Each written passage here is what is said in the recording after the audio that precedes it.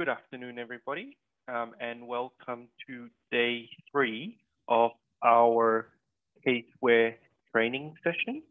Um, we, we have a couple more minutes before we get more participants joining us. So in the meantime, I'm just going to open up the floor to any questions. So if anyone has any questions, uh, please feel free to use the chat system um, to send in any questions you may have, and we can try and address that before the training session.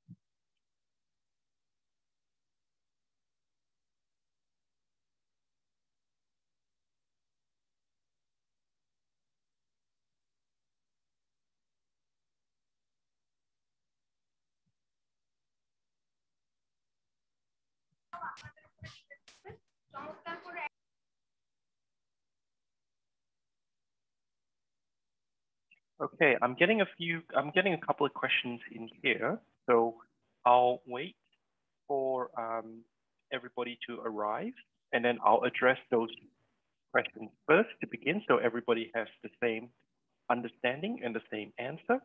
Um, and then we'll begin on our program for today, okay?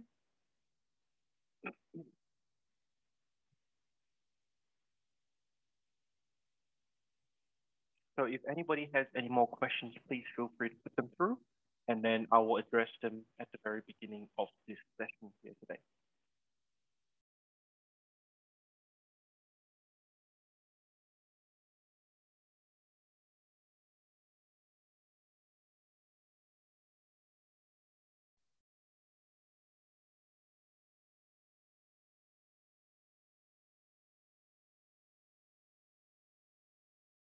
significantly.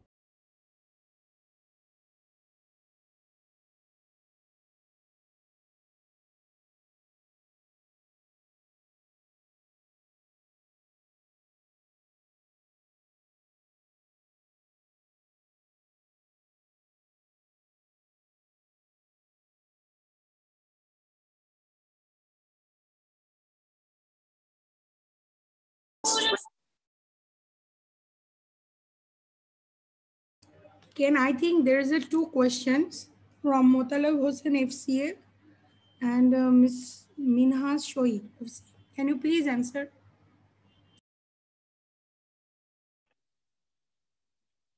Yep. Okay. So uh, the first question here, if a manager runs multiple engagements, um, can team members participate where only one caseware software is installed in the manager's computer? So the, the short answer there is no, unfortunately, because you need the caseware software on everybody's computer to be able to access the data. Um, however, if you're okay with one user working on the file at the, at the same time, at one time, the manager can prepare the file. They can then hand that computer off to the next user to say, go and complete this using caseware. And then that can go to the next computer um, and and onto the next user and onto the next user. So that um, that's one option there. Tying into the second question that's just come in, software has been installed on one computer would it be possible to transfer to another computer? Uh, Waliosm, yes, it is possible. Um, if you watch the training video from day one, I, I, will, I have, would have shown you um, how to revoke a license. And then once a license for your firm has been revoked, you can then move it over to the new computer. On the new computer, you simply re-register using the same license number, and that would then be transferred to the new computer. So the revoke and then re-registration on the new computer is how you transfer licenses. Okay. Um, one other question here, is Caseware able to send bank confirmation directly to bank? Unfortunately, no, um, because there are so many banks around the world and so many different systems, uh, we do not have the ability to do um, an automated transfer through from Caseware to banks. What you, what I will show you today is how to turn data and documents within Caseware into um, PDF or Excel or Word documents, at which point you can take those documents, those PDF, um, and put them into email and send it to the bank. But we don't have a direct link because we are not working with the banks to establish that link. Okay. so I think um, now is probably a good point here to start. So I'm going to start by sharing my screen here. Okay.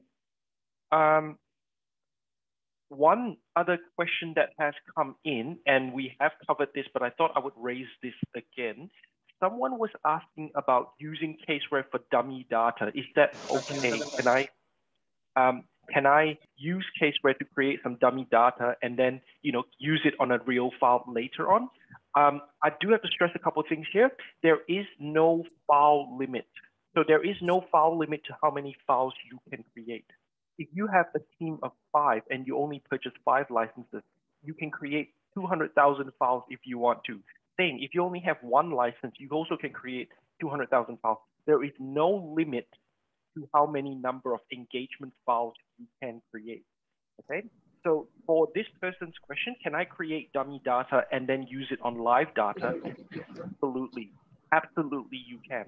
So what I have here, if I'm just going to quickly show you, in my drive under program files x86, caseware, data, Okay, these are all my different caseware files. So I have 22 files in here and I can create as many files as I want as long as I have enough space on my computer to keep all of these files. So it doesn't matter if you have, um, if you want to play around for the next couple of weeks before you start your engagement, you are more than welcome to.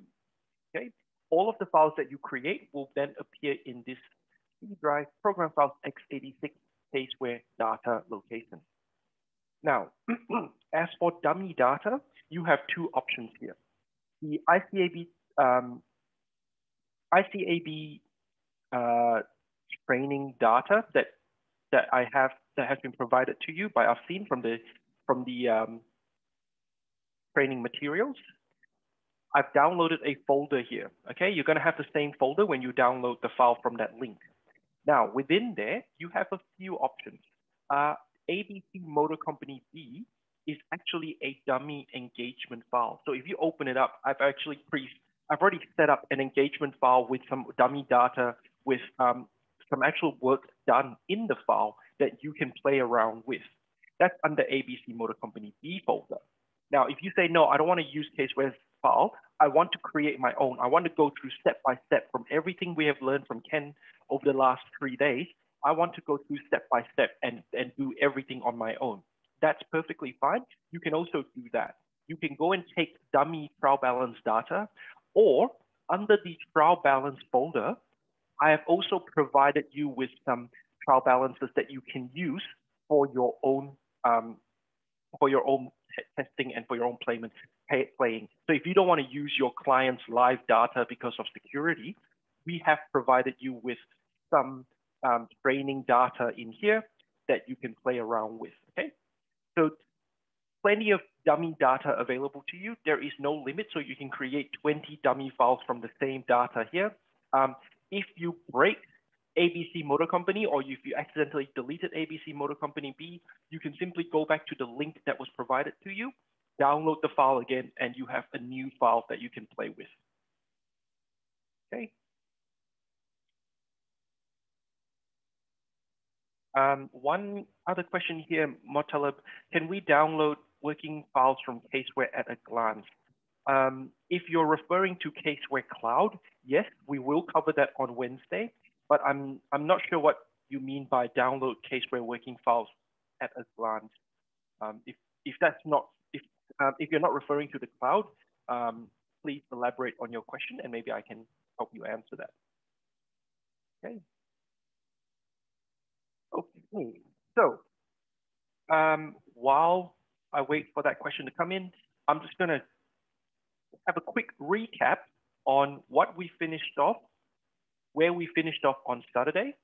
So I'll open up my Caseware working papers file from my open menu here. Um, under recent file, I'll just open up the Caseware file that I have, ABC Motor Company A, for the year ending 30 September 2021. Okay, so in this file on Saturday, what we last did, um, I had gone into my FSA document, the financial statement areas document.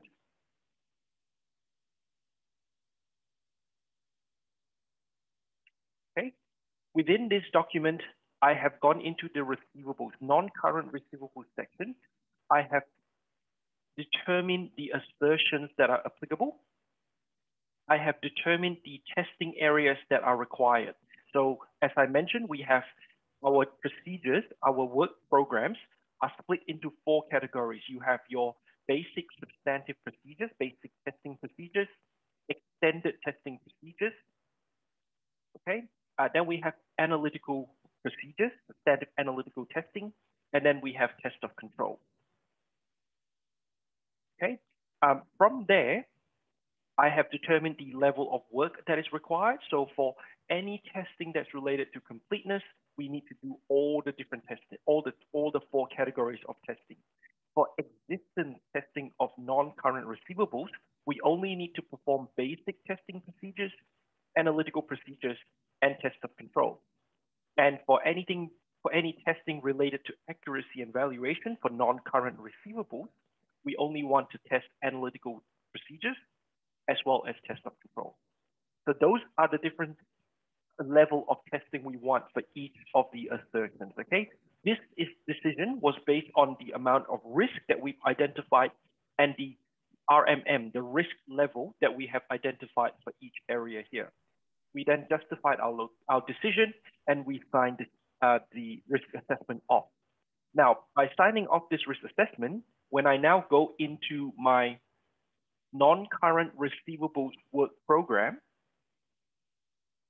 what has happened here is Caseware has optimized the work program. So first of all, at the top, you see your risk. I see the detailed table. Everything that I've just decided in the FSA is showing in here now. So Caseware, when I come in as an auditor, I can say, oh, for completeness, we need to do all of this testing. For existence, I need to do the testing. And for accuracy and valuation, I only need to do analytical procedures and test of control. Those procedures are then provided to you further down here. Okay, so your basic steps, uh, basic procedures that test for completeness. And then further down, you go down the list, you've got your extended procedures, you've got analytical procedures and your test of control. So that's where we ended on Saturday. I'm now going to return back to the chat. There are a couple of questions here. Uh, Maru, very, very quickly, what is the meaning of the various colors of tasks in the dashboard? So I'll quickly just show you in my dashboard here, you can see a number of different um, colors. So anything that has been set to gray is unavailable. So in this file, I'm not sure you've remembered, on day one, I said we don't have to do accounting estimates. So all the accounting estimates set areas has been deleted. Therefore, it is gray and there are no sections for accounting estimates anything that is blue is available and has not yet been started. So it hasn't been signed off yet. Anything in yellow has been started, but not yet completed. So we've completed some procedures, but not all of it. Okay, and then anything in green, like my materiality, has been fully completed. So we have fully determined, fully locked down, fully signed off our materiality. I'll talk a little bit about um, signing off now, and but that's how, what the colors mean in this dashboard. So coming into this dashboard, I can quickly tell where are we at. So we haven't really done much. We haven't even done our client meetings and deliverables yet. That's where we need to start. Further down, I can say, okay, what else is missing? You can look at the colors and go, yep, this section hasn't been completed yet. This section has been completed. What is or is not available yet in this file? Okay. Um, another question here if someone wants to transfer the C drive, yes, Mohammed Katibur. Um, so in your data folder, if you want to, you can copy and paste this entire data folder to a different file if you're transferring the license. So if this computer that I have is really old and I'm going to transfer, I bought a new computer, I want to transfer caseware there, I would basically take this data folder and put it on, onto the next um, next computer. Okay. And Golam, yes, if you do not have Caseware Cloud, it is recommended that you back up this data folder.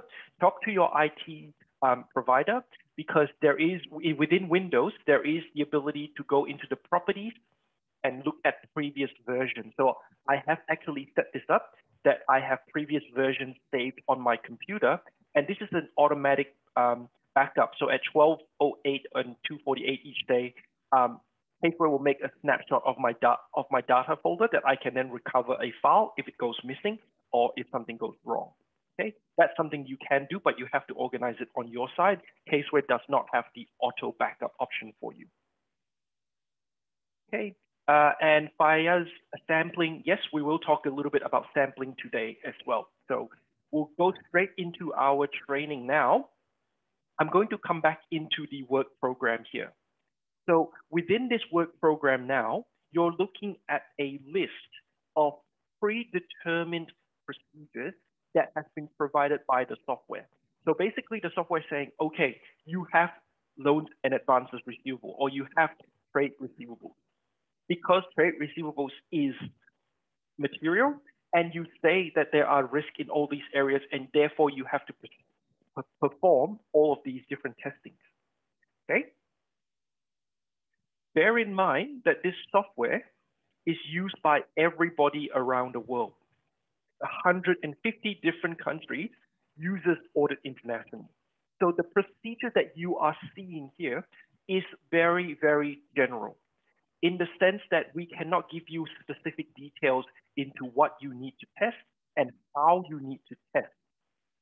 What you need to now consider here is, is the procedure detailed enough for your auditor. So if I am a manager and I have a brand new um, associate straight out of uni, doesn't has never done has never done an audit before. Okay, if I simply just hand them this document and say go and go and complete the receivables testing, they might read all this and say, well, what what does this mean? Develop and document expectation. What are the expectations? What is, you know, they have lots of questions. So the general procedure here is basically a guidance. You should consider all of this. You should think about all of this. Additionally, if you want to, or if it's required, you can then right click in here and go turn this into modifiable. Modifiable will turn this whole procedure green what can then happen is I can now come in here. I can say step one, do this. Okay, step two, do this. And then step three, do this. And then uh, we also want to say, make sure you call up XYZ and get XYZ info, whatever you want to do. So this makes it a modifiable procedure that you can now detail the amount of work that needs to be done. The detail that we have provided you is very, very general because it needs to be used by a lot of different people. So I can't put the company's name, I can't put all that details in there because we don't know it. It's a very generic, very general set of instructions. You now have the ability to go in and modify that so that you can make it clearer. You can make it more specific to this engagement that you are performing. Okay. And you want to make sure that the procedures and the instructions here relates to the actual procedure regarding analytical procedures. Don't go and tell them to do a, um, a test on the on the receivables listing uh, because it's not analytical procedure. You know, you might want to move down to the schedule part and do that within the schedule part. So this is where you can now come in and start to customize the procedures that are required for your firm on top of what has already been provided to you. Okay, if you want to, or if you need to, if you look at this and say, oh, well, they haven't covered off something. For this client, we have a very, very specific need um, to do a specific testing that has not been covered off yet. I can additionally right click anywhere in here and I can insert a new procedure. So there are two new procedure inserts. Insert new procedure or insert new sub procedure. New procedure will simply add procedure one, two, three. It will just add on the highest level. Sub procedure will add 1A, 1B, 1C. So depending on how you want to do. So if this all falls under analytical procedure, you might say, additionally, I want you to do this step under analytical procedure. But if I want a completely separate procedure outside of analytical procedures, I go add new procedure. We can add the number of different procedures here. I'm just going to say one for now. In Caseware we'll simply add procedure two in here. So previously schedule was procedure two, now schedule is procedure three. So this is my new procedure. Go and take a listing of um, debtors and test against ADC records, let's just say, okay? Once again, I'm not a full-time auditor, so I I am making um, some very, very terrible examples here, but you get the idea.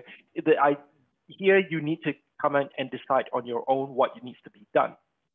Okay, um, once we've added a procedure, I can also, I just want to add one down here. So compliance with agreements, if I go insert sub-level procedure or new sub-procedure, you will then see that 4A appears instead of procedure five, because that's a sub procedure, a level one sub. -procedure.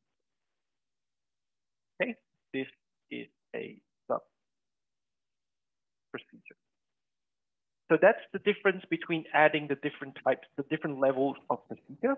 And if you have a sub procedure like 4A, you now have the ability to add 4A1 as well. So we can go down to three levels here.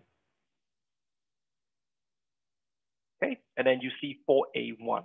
So that's the end of it. Unfortunately, you cannot add any more lower than that, but that's the high, uh, that's the lowest level you can go.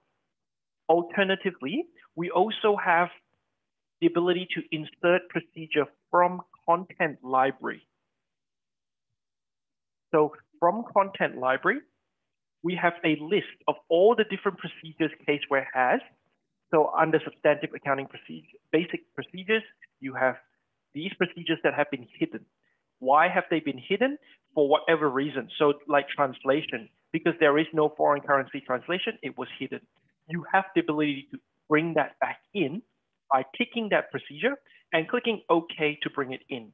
We also have um, presentation procedures, overall evaluation procedures. All of these have been removed from the file for now. Okay, and it will bring it back into the file again. Um, I have a question here. Is it possible to apply the modifications for an engagement to all future engagements? Uh, at the moment, no. That's you have to create the modification individually. If you find that this is a very, very big issue. Like 90% of your audit engagements, you have one, you have the same procedure you need to manually enter. Please reach out to myself or Afseen, uh, and we can talk about creating a firm template. Now, unfortunately, firm template means that you now have to keep up the um, updates yourself. You have to make sure that all your content is updated correctly each year. It does take a fair bit more effort. So it we do need to have a bit of a discussion to understand how much work um, it is to create those modifications um, and if whether maintaining your own trial balance is more, uh, sorry, maintaining your own audit procedure is more important than the actual update process. So that's a discussion we need to have separately. However, however, any procedure that I have added into this file, if I roll this file forward, the procedure will remain in the file. Caseware will not delete these procedures in the future in any file going forward. So for ABC Motor Company A 2022, I will still see this. 2023, I will still see this up until a point you choose to delete that procedure yourself. Okay, um, and similarly, there's another question here: how to how do we add procedures to the content library um, from SF Ahmed and Co? Um, that that's not an option. You, if you want to add procedures to the content library, that is what we just discussed, which is a custom template, a firm customized template. And there is a lot of maintenance, a lot of state maintenance that you need to think about. So please reach out to us. Um, we can discuss the type of procedures, type of content customization you want to make.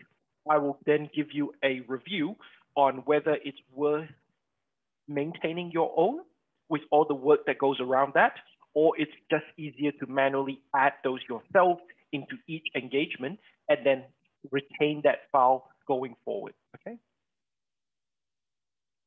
So I have added some procedures here while I've shown you how to modify some procedures. One thing now I'm going to also think about and look at, let me just hide first.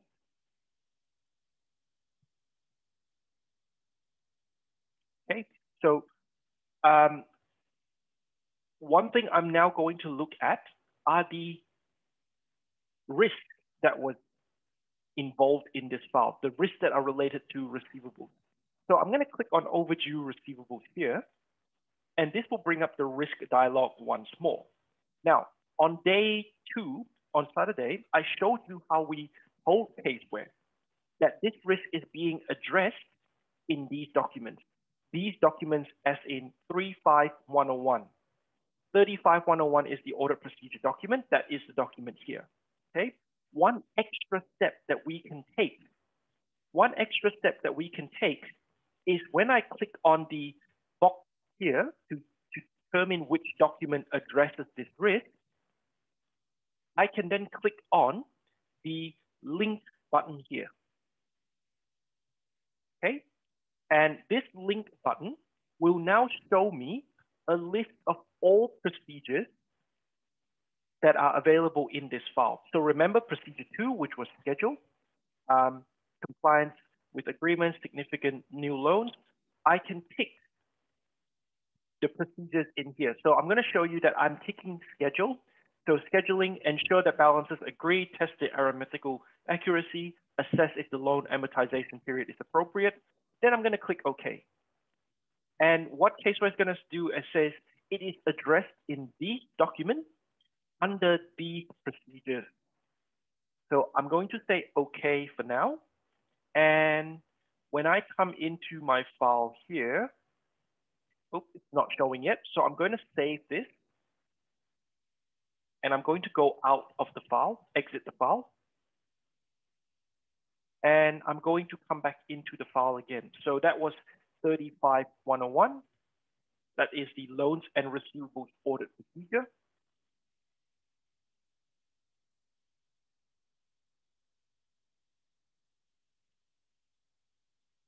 Okay, and now you're going to see under schedule here, you're going to see the overdue receivables risk.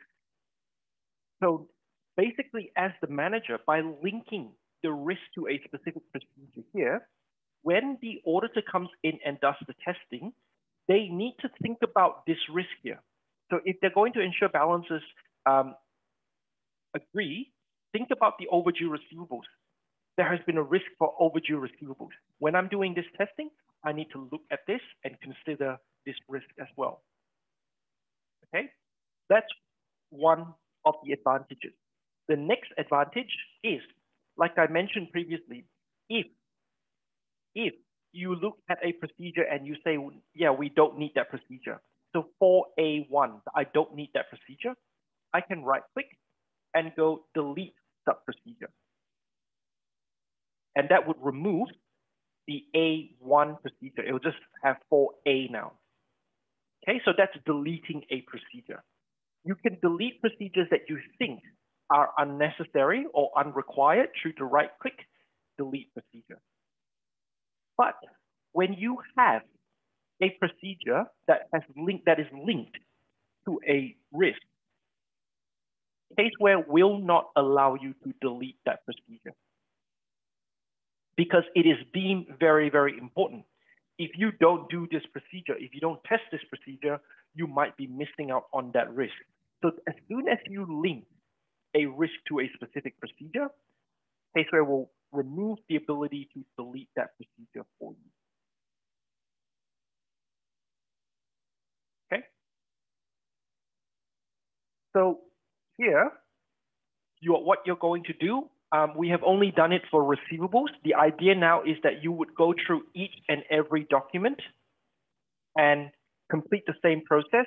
Within the FSA, you make your assessment, you determine the amount of work that needs to be done, and then you move over to the actual work program itself. You can very, very easily find the work program. While I'm in the FSA, the work program is under the work paper reference column here. So if I was looking at inventory and I've done my assessment for inventory, let's just go with, um, okay, So I've done my assessment here. So everything's medium or low. So I might just say, okay, I only need to perform uh, no, testing like this.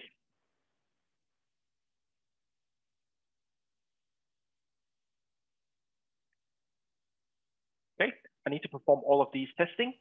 You can then click on the link here, the inventory audit procedure to open the audit procedure document.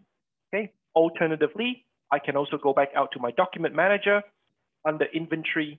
That is the same document. So we've created a number of different um, shortcuts for you to get to those documents.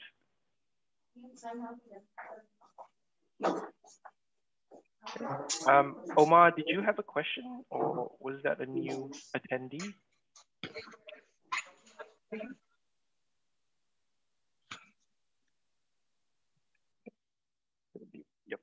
Okay. So now, once we have completed all of this modification and customization, we're now going to move into actual, actually performing the audit work. So in here, very, very simple. Um, like we have done this already on day one, when you have completed a procedure or a step, you can go completed no exceptions, completed with exceptions noted uh, below, not possible to complete yes, no, NA. Okay, so when you go with completed no exceptions, that's it. Nothing else is required. Okay, doesn't mean this is right, doesn't mean this is correct. If I was a regulator and I saw this, I would be making a big note here because all you have just said is completed no exceptions. Where is the evidence? Okay, what have you done? So this here is what we call the reference button, which allows me to link a document in my file. I'll come back to this again once I have a few more documents later, but I just wanted to show you the sign-offs that are available first. So if you have completed no exceptions, it just signs it off with your current name that is logged in and the date that is also logged in. if you go with completed with exceptions noted below, then you have a cell that I can enter comments into. Specifically, any exceptions that you found. Okay, so you say it's completed, but there are exceptions noted below. So in this cell, you would type those exceptions out. We also have a warning here regarding issues. I will talk a little bit about issues later today again. So here I can then tick this and complete the same step. Lots of other different features, not possible to complete. So not possible to complete, we'll just sign it off yourself. You just have to find the different behaviors um, of what each answer does. Okay, and then if I choose other, now for all of these other procedures, if I, if, sorry, for all of these other responses, if I want to, let's say not possible to complete, I can then untick and I will have the cell. I can enter my comment or reason why, and then retick it. Okay, so this is where you would come in to complete the work procedures line by line in here. Okay. So as you complete your work procedures, obviously you're going to find supporting documents. You're going to have worksheets. You're going to have um, spreadsheets, work papers, all of that outside of Caseware. Those documents can come in Word, Excel, PDF, or even pictures. So if someone said, oh, I just scanned you some images, you can say, all right, just send them to me as an image file. So once you receive those, I'm going to, let's just assume we have saved those documents on my C drive. So in my C drive under the ICAB training folder, I have also created some um, draft uh, external documents. So we have some Word, we have one Word document in here. I have a PDF in here, um, and then I'm going to use the Excel trial balance as well. So very, very simple. Um, when I'm ready to import a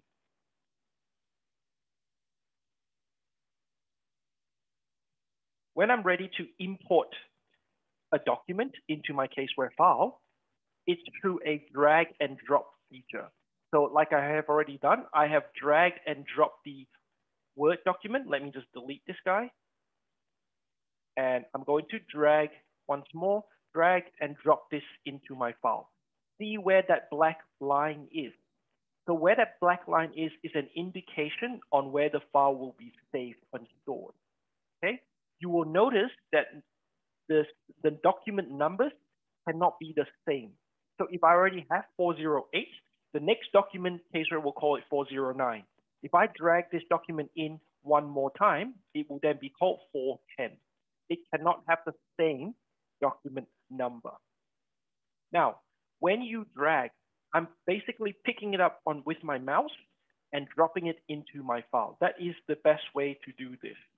When you do this, it is copying the engagement file into your data folder.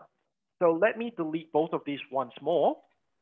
And you'll notice that, and you'll notice that in the folder on my desktop, the, the Word document is still here. If I go into my data folder and I show you, and I show you the ABC company uh, folder here, you're not going to see a Word document called engagement letter yet. Okay, so now I'm going to go back to my desktop, ICAB training. I'm going to pull that engagement draft letter and I'm going to put it into my file here. Notice how it says on the screen, copy to client acceptance and continuance. See where my mouse is? It says copy. So Caseware is making a copy of that Word document into my Caseware file. And what that means is now in my data folder under ABC Motor Company, you're going to see that same Word document here. They are going to be two separate Word documents.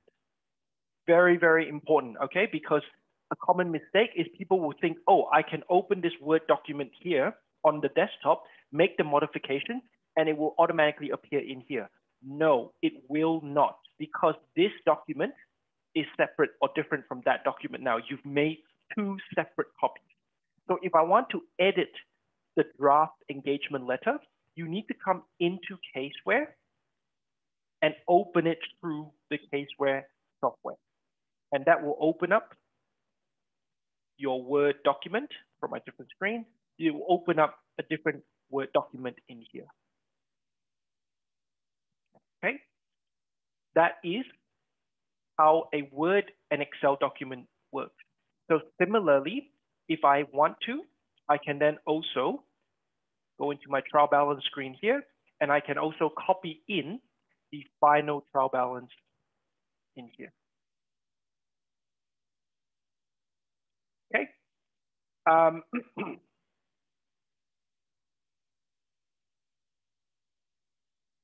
so we have a question. We've got a couple of questions. Where should we attach document of independence, forwarding letter, risk assessment documents, any pre-engagement documents? So any pre-engagement documents should go into the planning phase. Anything related to risk assessment should go into the risk assessment phase. So if you look at this, um, very good question there, what independence, for example, um, I don't think we have anything that deals directly with independence for the moment. Yeah, we don't have anything that deals directly with independence in here. So what you can do, um, you can use any of the folders that have been provided to you. Okay. Or if you say now that that's I don't want them, I want to go with my own folder, you can then right click in here, go new folder. And then I can call this the independence folder. জি জি না অসুবিধা নেই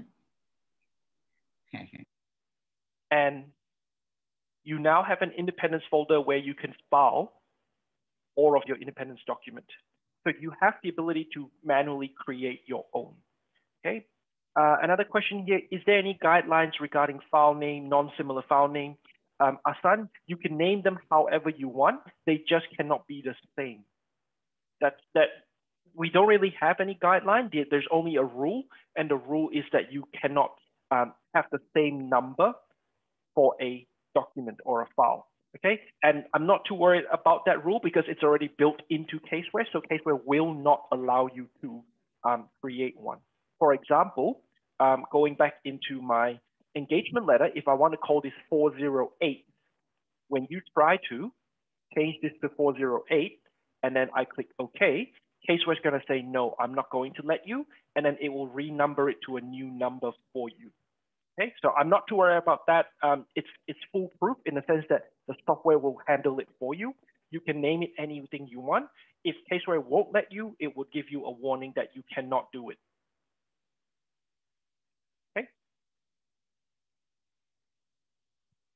So bringing in documents, Word and Excel documents, uh, very, very simple. Once you bring them into your file, you open it through Caseware Working Papers. When you open it through Caseware Working Papers, it will launch in Word and Excel.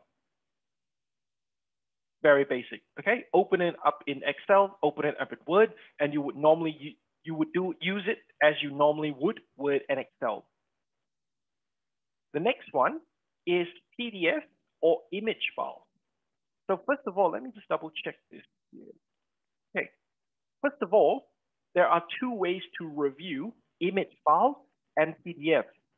You can open up externally. So that's what I just did. You can open up externally using Adobe or whatever PDF reader that you have. That's one option. If you do this, then you are limited to all the features available within your version of Adobe. So if you have one of the premium versions of Adobe, you can edit, you can make comments, you can highlight, you can do all of that, fine. You can then continue using it that way.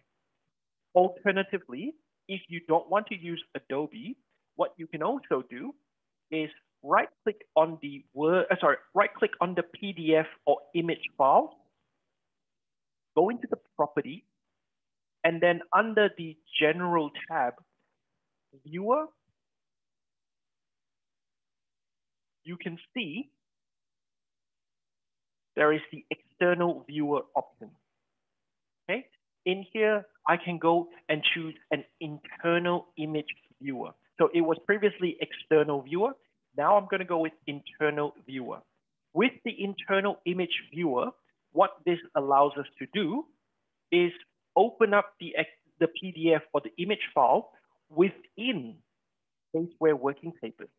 So can you see digital dashboard, document manager, terms of engagement. That is my engagement letter here.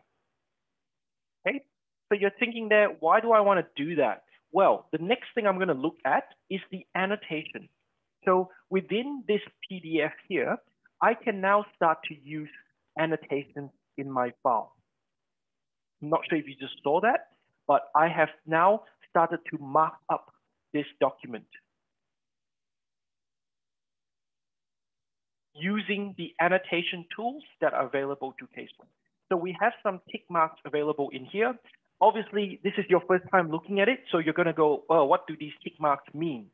Okay, let me just zoom in a little bit for everybody, so it's a bit hard to view here. Okay, so you're looking at these and go, what do these tick marks mean? So you can hover over that to look at the um, explanation of the tick mark. Hopefully in six months time, you don't have to hover over it. You can look at this tick and go, oh, I know it means agreed to invoice. This tick mark, I know it means agreed to account. Okay, I can hover over that to review the person who created the tick mark and the date. Now, this is me marking up the PDF document. Okay, you can also make references. So if I want to reference this to the original um, the original engagement letter. So that's 409, that's the Word document here. I can tick that and 409 will appear in here. So then I can move it down to the top here. I can also make a note. So here I can say this is the original draft letter and I can then mark this and put it here so that whoever opens this document now, they will automatically see this. Okay, and one final thing we can also do is a highlight feature. I can click on this highlight feature here, and I can then highlight a specific text or specific section within the file. I can say, please note the date. And when I click OK, you will have a highlight there. So when a, a reviewer can hover over that, or they don't, sorry, they just have to hover the, um, they just move the mouse over that box and they will see the comment or the note that you have made. No need to click into it, okay? If they click into it, they will now have the ability to move that, that highlight around wherever they want. So these are all the different um, annotation tools that are available inside of Caseware. It does not just affect PDF, but if you choose to review your PDF and your Word document within Caseware using the internal image viewer, then you will have the ability to use our annotation to mark up your file. Okay, so staying on this topic of annotation, so you're now going into the audit. You're starting to do the audit work. You're going to have to start making notes. You're going to have to start um, putting in comments. I'm going to come back into my non-current receivables again. This time, I'm going to go into the lead sheet document here. Now, the lead sheet document is basically a collection or report of all the accounts that you have marked under non-current receivables. Remember on day one, when we first mapped our accounts, by mapping your account, you're telling Caseware what type of account it is. And as soon as Caseware knows the type of account, it can then start to put them into your lead sheet for you. For example, my long-term investments account 116, that is a non-current receivable item. Okay. Another one, I, I will use the property plant equipment because the property plant equipment lead sheets are um, probably a bit more details in here. So document one, property plant equipment, 1.1 splits the cost out, and then 1.2 splits the depreciation account out. So looking in here, document one has all of that together in one lead sheet. And then 1.1 and 1.2 has the cost accounts only.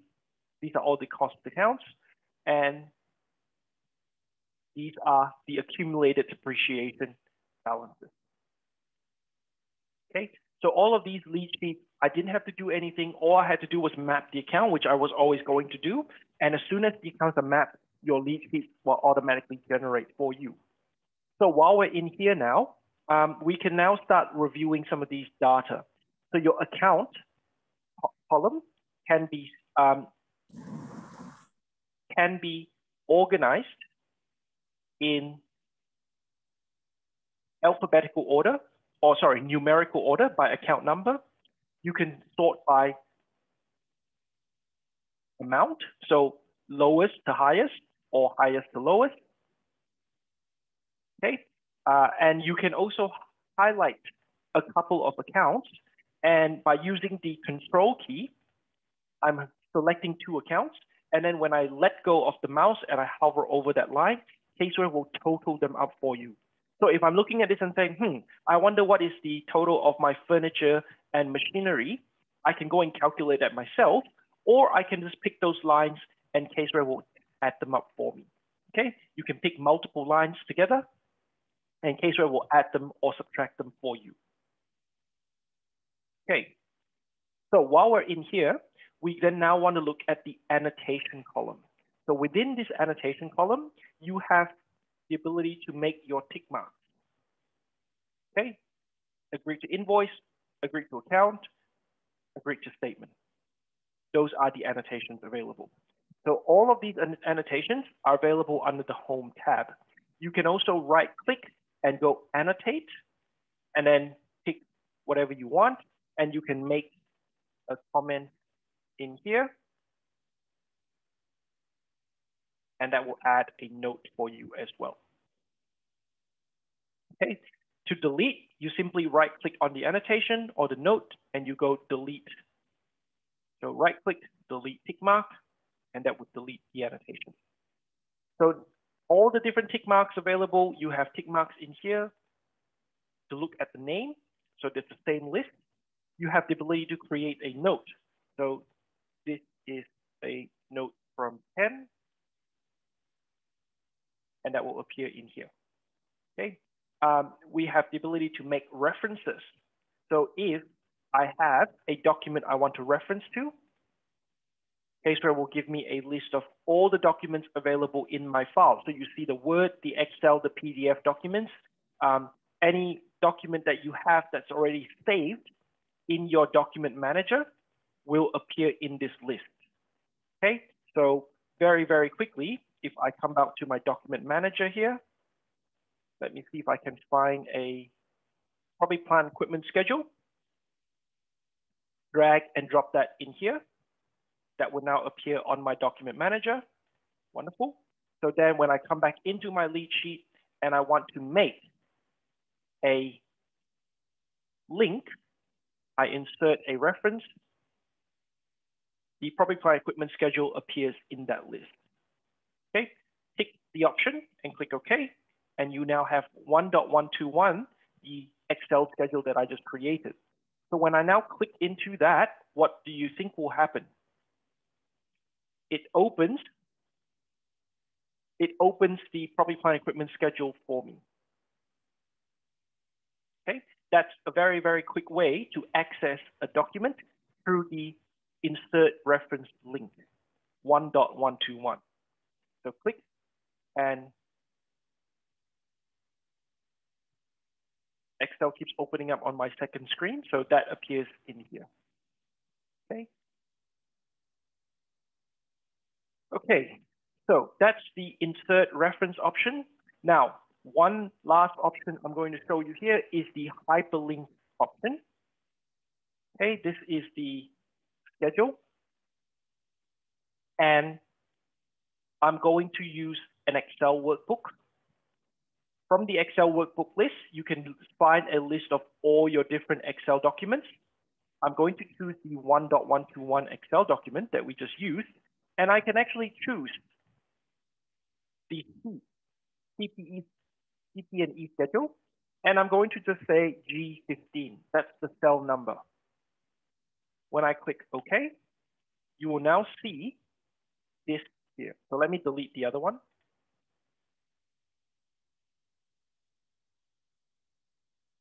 Okay, you're going to see that, that link there. What happens when I click this link? It's going to behave the same way like it did before. Let me click it again. It's going to behave the same way like it did before, but this time it actually automatically picks up G15 for us as well. So let me just redo that again because it keeps opening up on a different screen. I do apologize for that. Okay.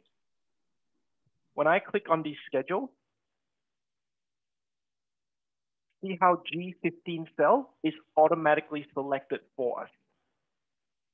Okay, that is one extra step you can take to direct someone direct specifically to a cell where the um, where that evidence or that supporting document is in through the hyperlink feature and then using the Excel workbook feature and picking the location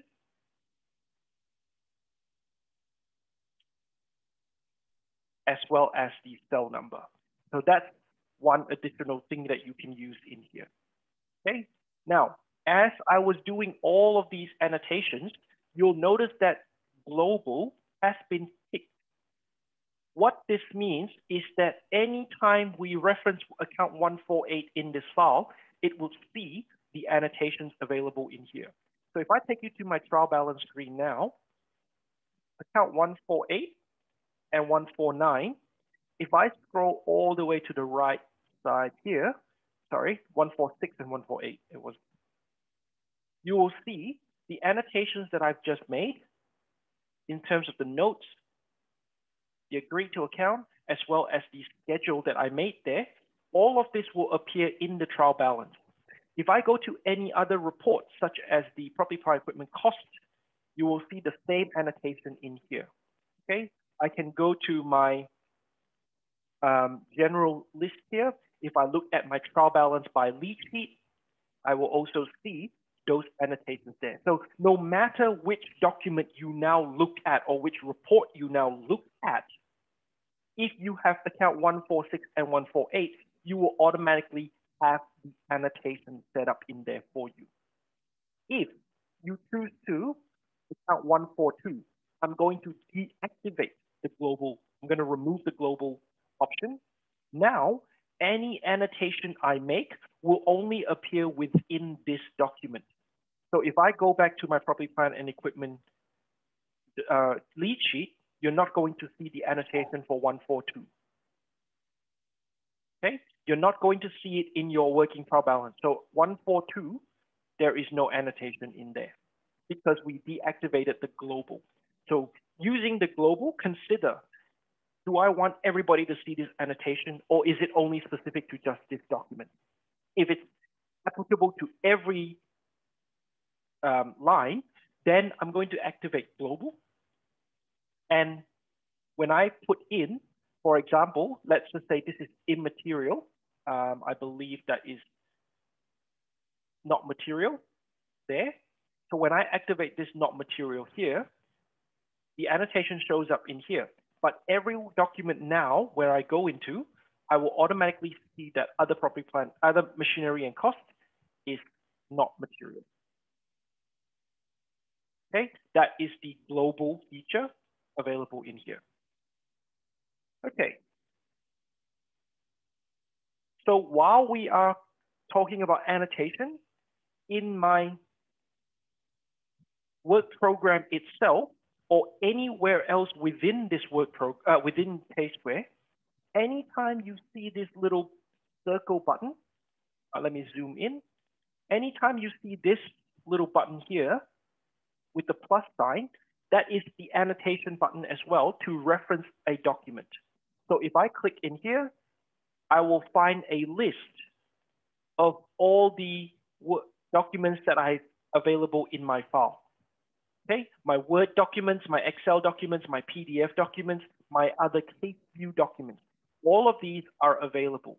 So if the supporting document is in the file, what I'm going to do, I'm going to select it here. So document number 35, which is the current, uh, so the non-current receivables lead sheet document. Click OK.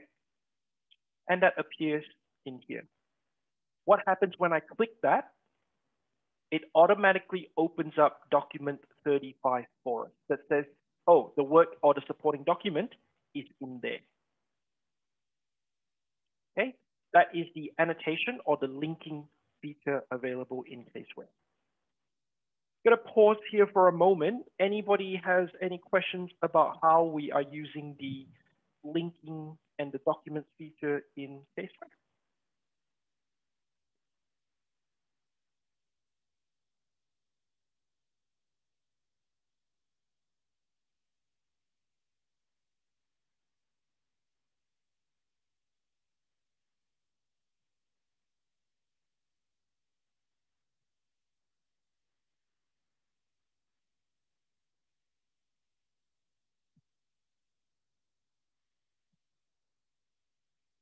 Okay, doesn't look like there's any questions coming out.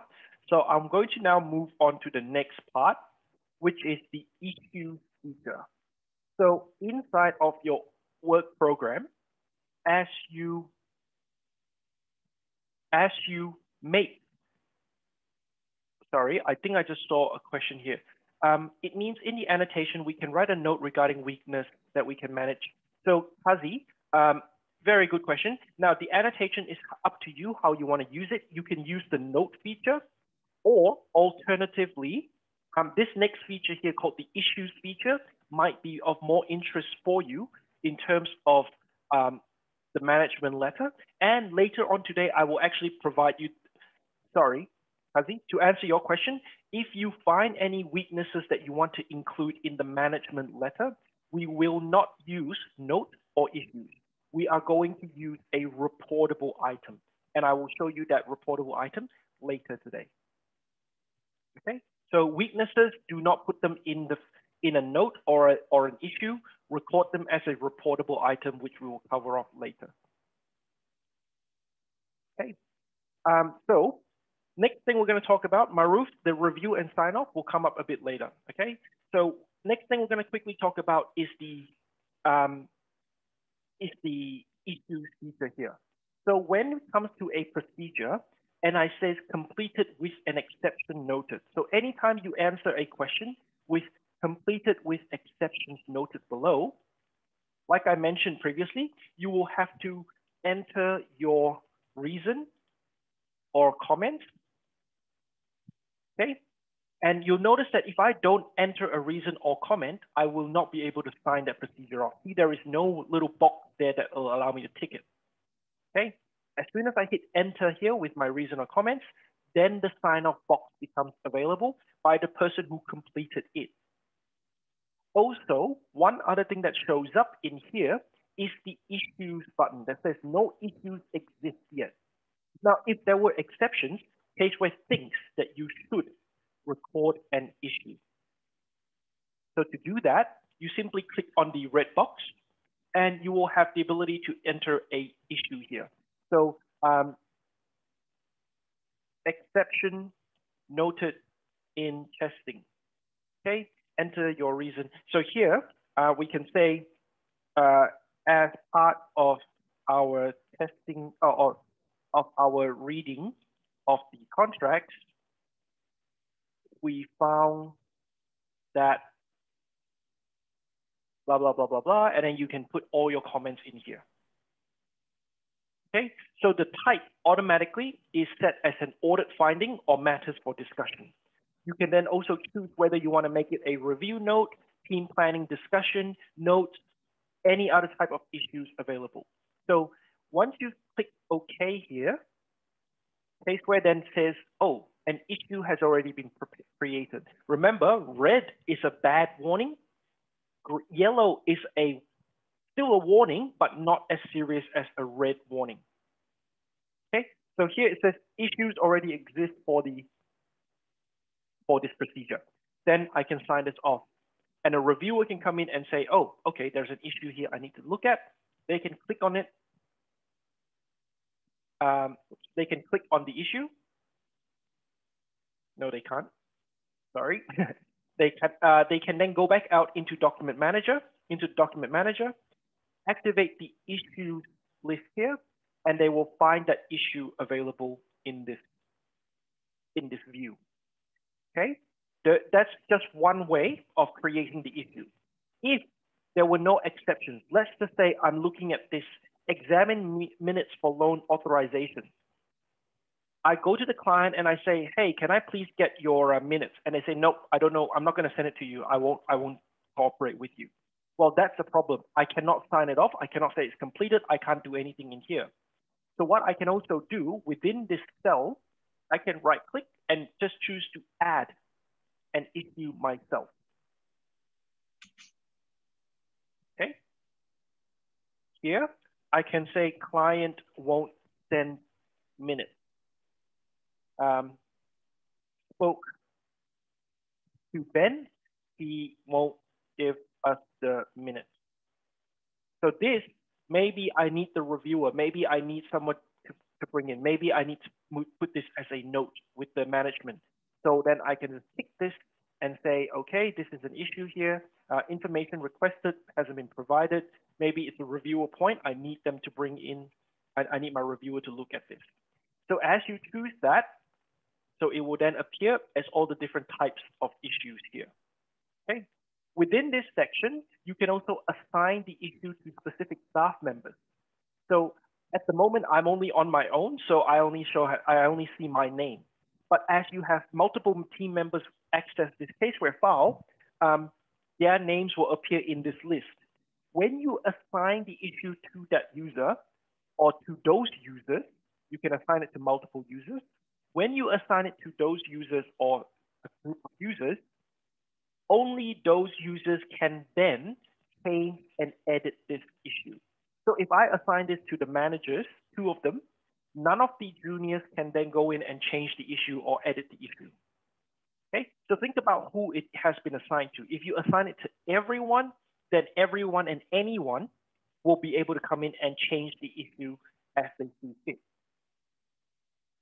You can change the priority and you can then change the status. You can put a start date, you can put an end date, you can put a reminder.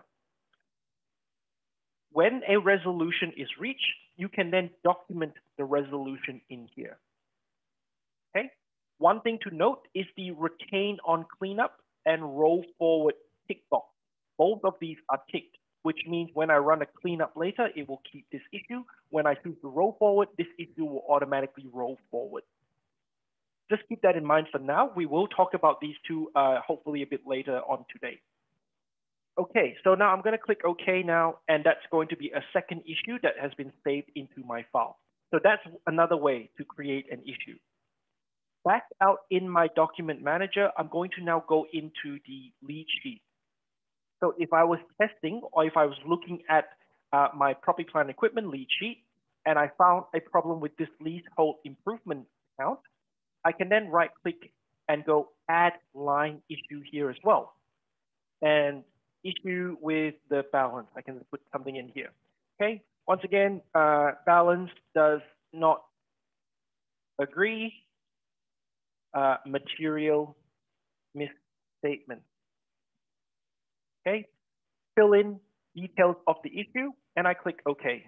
And now you will see this sign here that says there is an issue with the balance.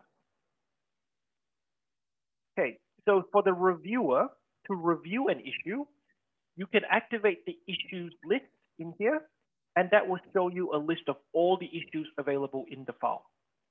You can drill, you can drill straight down into the issue by clicking on the document name, and Caseware will highlight the issue for you. You see this red warning sign here, okay? If I drill into the other document, it will then highlight and say an issue has been created in here. So whoever has been assigned that issue can now review those issues. Similarly, if I click on this last document, it will then take me to the line where the issue was created. You can then double click on the issue to open up the issue pane or the issue dialog and enter my resolution or document my resolution in here. Once it has been completed, I can then say completed. So anyone who has been assigned the issue can come in and enter a resolution and change the status, but they cannot clear the issue. Okay, so this, this issue has been completed. You will see that it is grayed out like this, but it is not marked as cleared yet. Only the person who created that issue can then come in and clear the issue. So at the moment, because we are all looking through my computer, um, I was the one who created this issue, so I have full access. But if you were not the person who created this issue and you were not assigned this issue, Caseware will actually deactivate the areas you cannot access. So it is secure in that way, in that if you open up an issue and you say, why can't I do this or why can't I do that?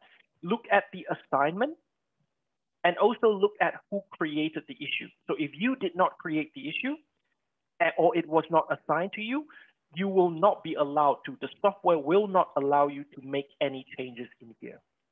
Okay, there are two levels. There is the completing of an issue, and then there is the clearing of an issue. So this is completed, but not yet cleared. Once I clear the issue, once the person who creates the issue clears the issue, then you will see a tick here, and it would go from green to a red tick to say it has been cleared, which means it has been resolved and someone has cleared it. Okay, coming back out to my document screen now.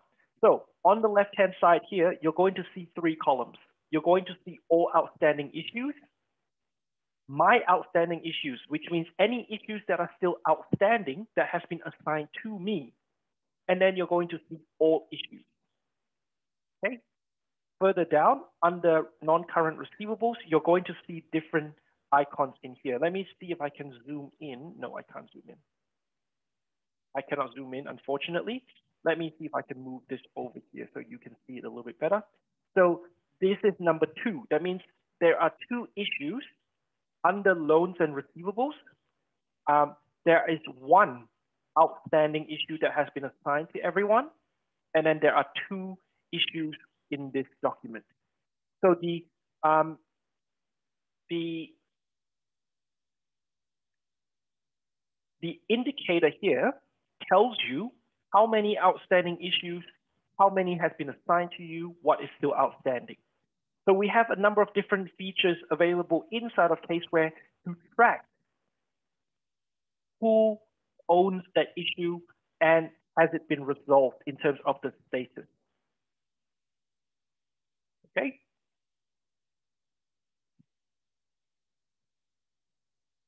Once you have all these issues completed or, or documented, at the very end of the audit, you can also come into the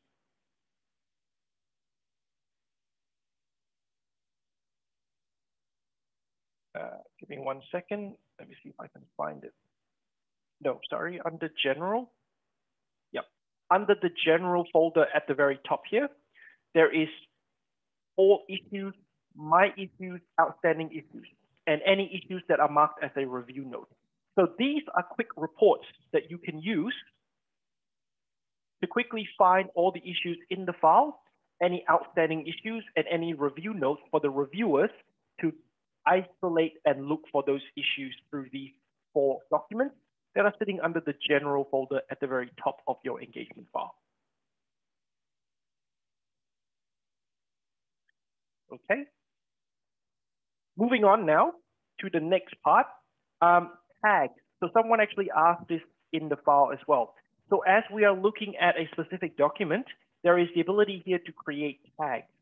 You can use tags for any reason whatsoever. Okay, one of the main reasons I can think of or that we advise user about is tagging a document to a specific user. So I can add a tag here and say, this is Ken document. Okay, Um, and then I can just do that for a few more. Okay, and then let's just say for the receivables, that is for Sophie. Okay. And so now through the tag, you can quickly tell these documents belong to Ken, these documents belong to Sophie. So you're thinking, why do I have to do that? Why should I do this? Well, one of the things that we can do with tags is quickly filter out documents with specific tags in the sense that under the filter here, you can look for a number of different filters that has been created for you. But I can also go into the filter manager, create my own filter called under new, I'm just gonna say Ken.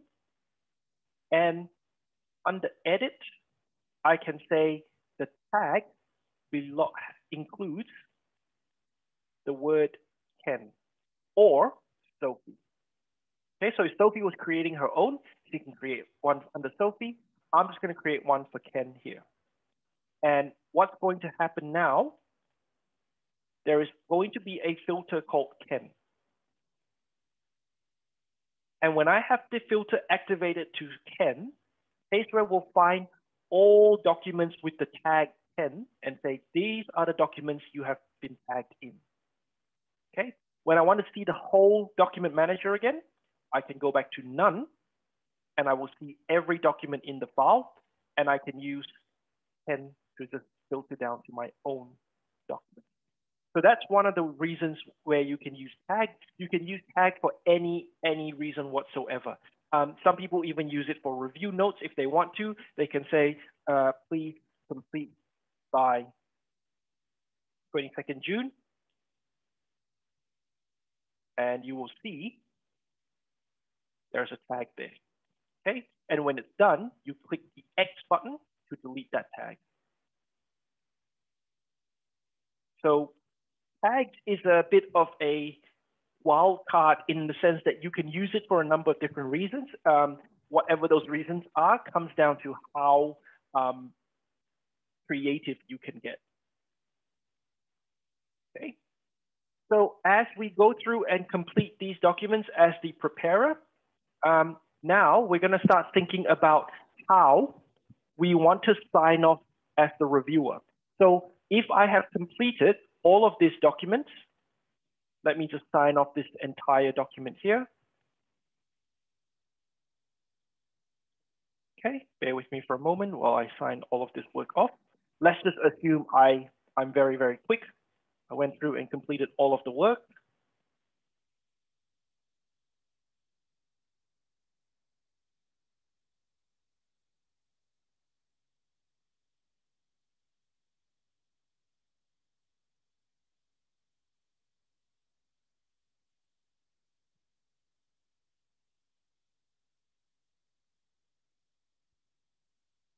So you can see I am using a group sign off, which means I sign off all the documents, all the procedures below in one go. Um, this is very rarely used in practice because in practice you do have different answers. Okay, if you use the very top group sign off here, it's going to sign off everything below with the same response. Once again, that's not a very common occurrence. So um, not a good example in practice, but I'm just quickly signing this off because I want to show you now, as soon as I complete this document, you now have the ability to then go completed by and reviewed by. So I'm going to say, yes, I've completed this. I will just mark it as completed by. And when you do that, your name, your initials, and the date will appear in here. Okay. So you'll notice that when I try to sign it off, it says, do you want to sign off an incomplete document?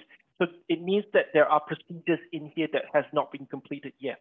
So I'm going to cancel this and let me go back up and review this document to make sure I have signed off everything. No, so I've missed one there.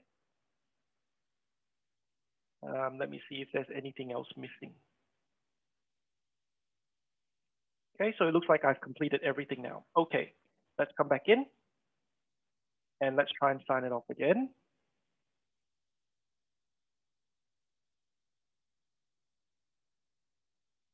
Okay, and this time, no warning. So you'll see the difference. If I had something that was not fully completed, there, there was a warning there. And once you have finished everything, you can then sign off without any warning. Same thing, a person can then come in here and say, oh, I have reviewed the document. They can then tick that and their initials and date will then sign off as the person who completed it. Okay, I'm gonna click OK here. Now, by default, by default, we have two sign-offs. We have a completed by and we have a reviewed by. So everybody can sign off as completed by and reviewed by, and you get this view here. If I sign off as simply just completed by, then my initials show up in here and you get one single small tick mark. This is the default is that we have two sign off person. We assume that there are two people working on this file, someone who completes the document and someone who reviews the document. That's not the case all the time. So I'm going to go into my tools tab here, going to go into go options, and I'm looking at roles. So under roles, you can see we have the default of two.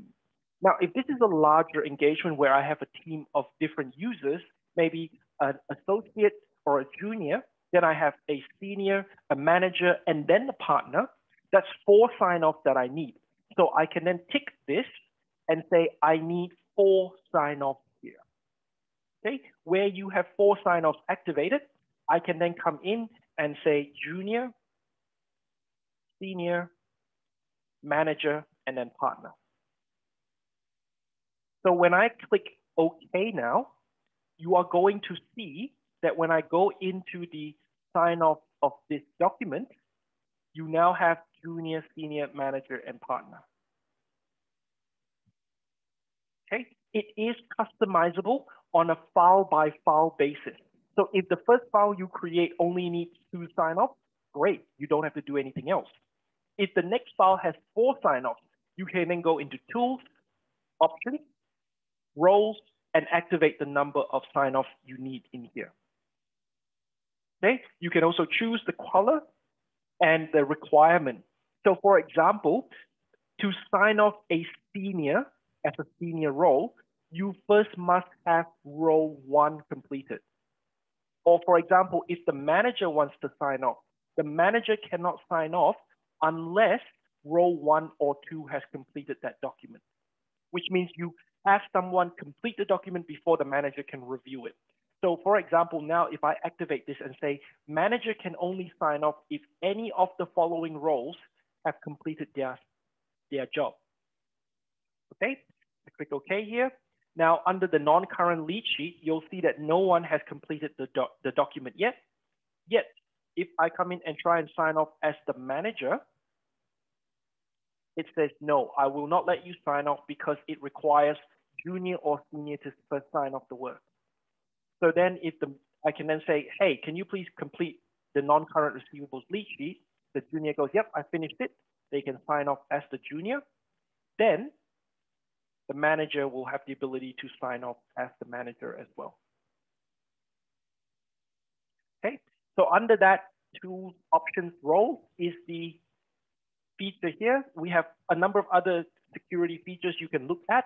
Um, and if you have any questions, feel free to reach out to us on support.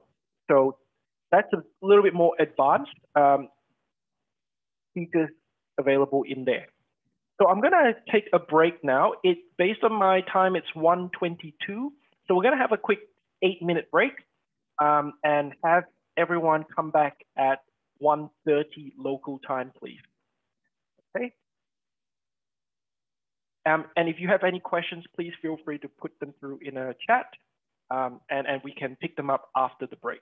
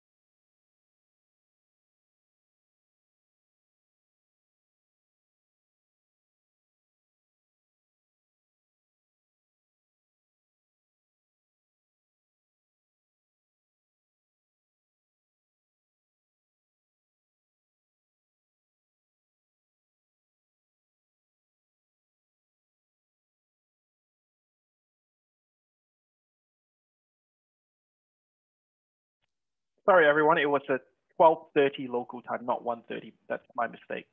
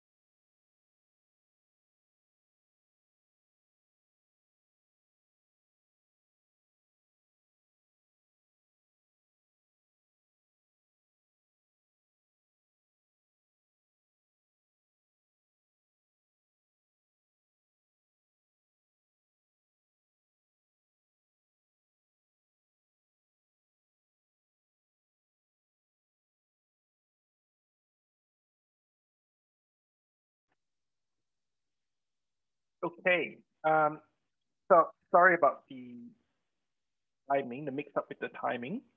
If anybody knows of someone who's not back yet, please send through a chat to let me know. We should wait for them. Um, I'll give everybody a couple, another minute or so to get settled back in. okay,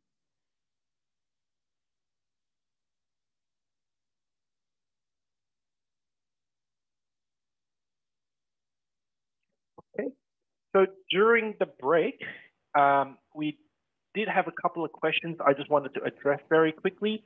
So uh, Sajidul asked, after revoking from one PC, it's, is it possible to reinstall on the same computer?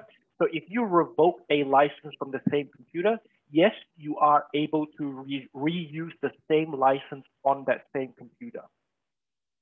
Okay. And Fayaz here, are there any guidelines on when specific work should be completed?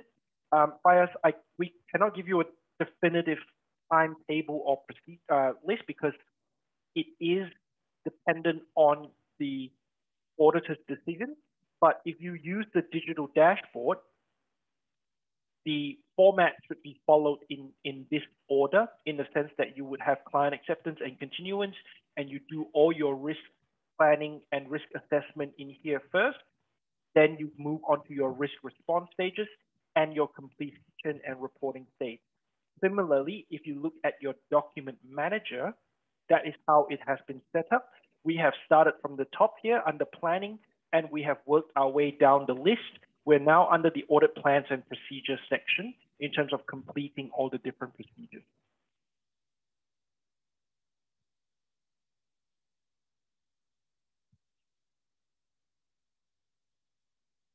Okay.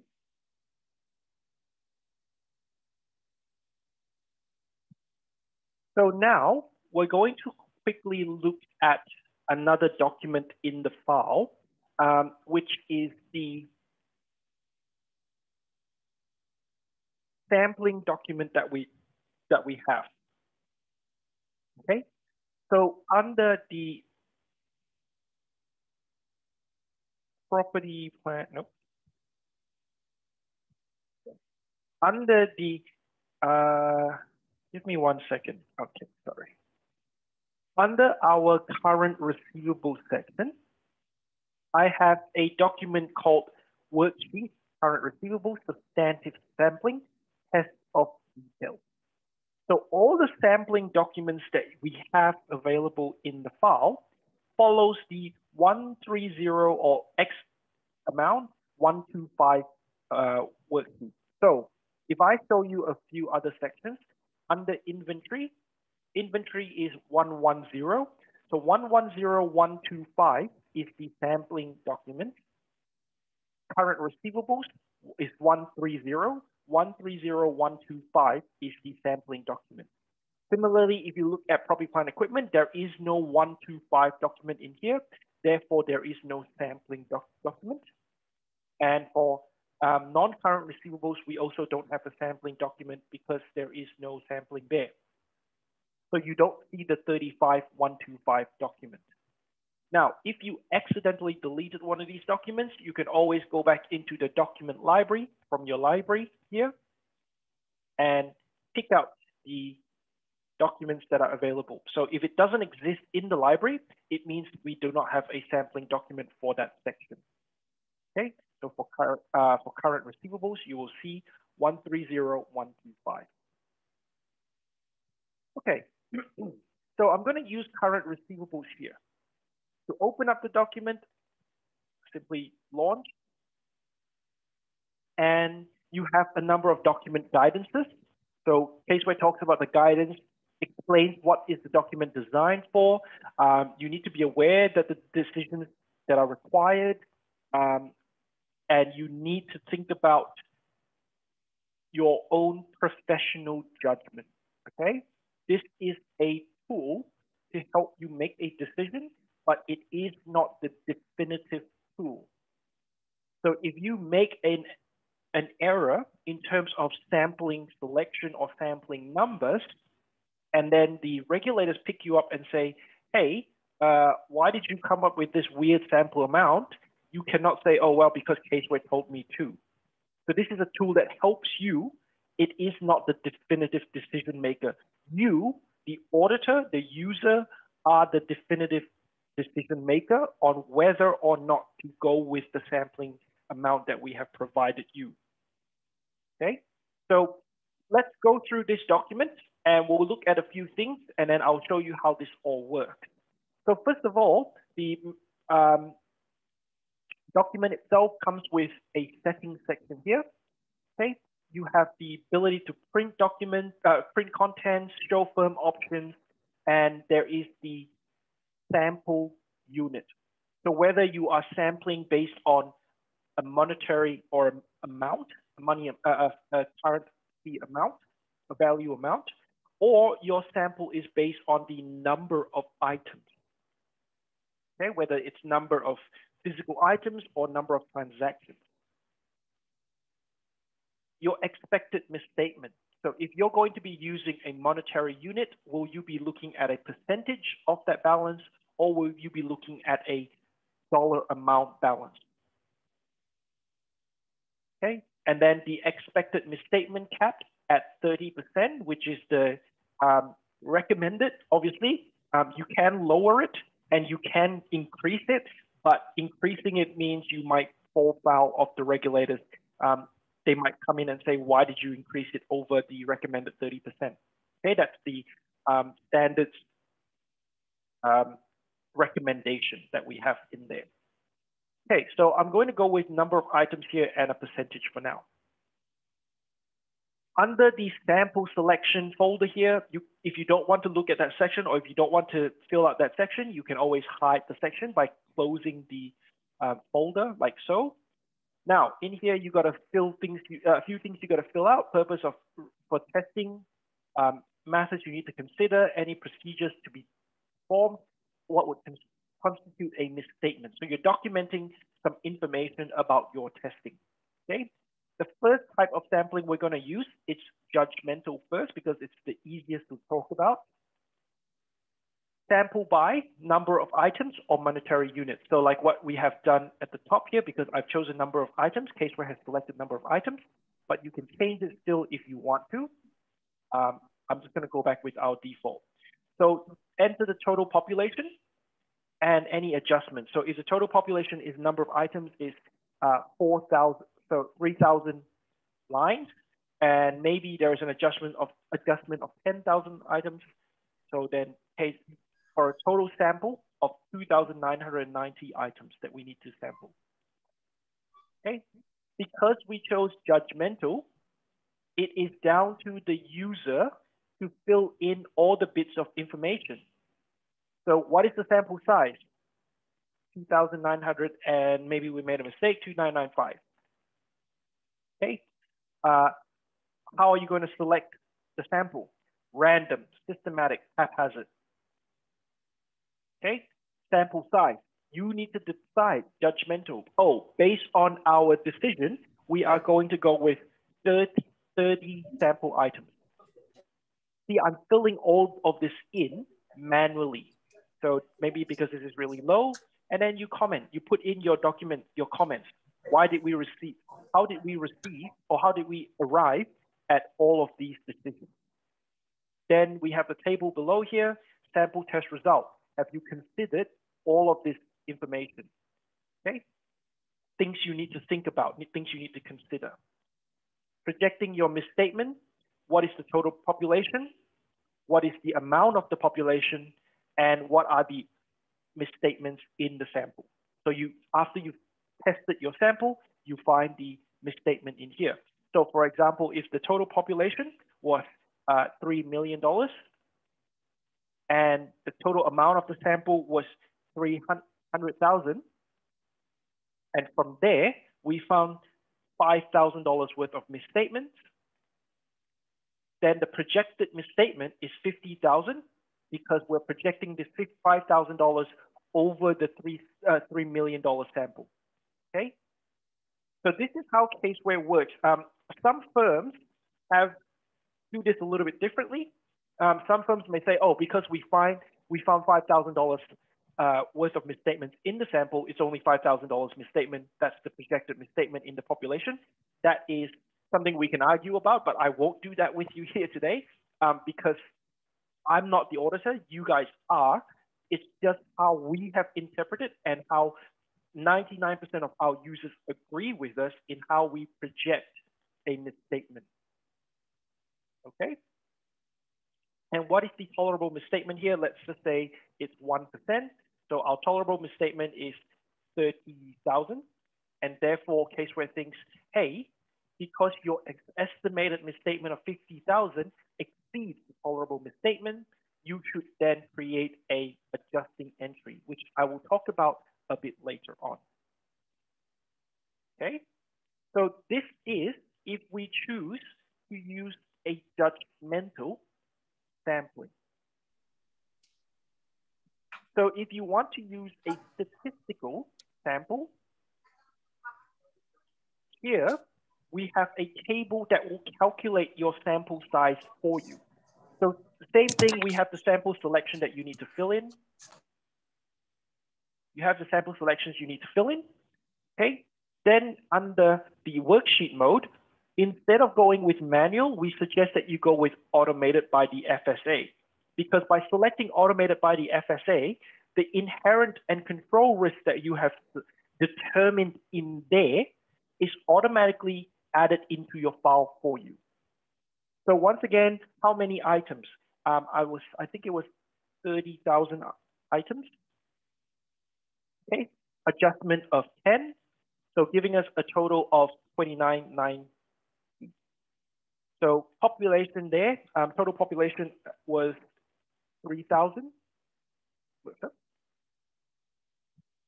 Okay, was 30,000 so the population materiality is 10%. Actually, sorry, it should be 300, not 3.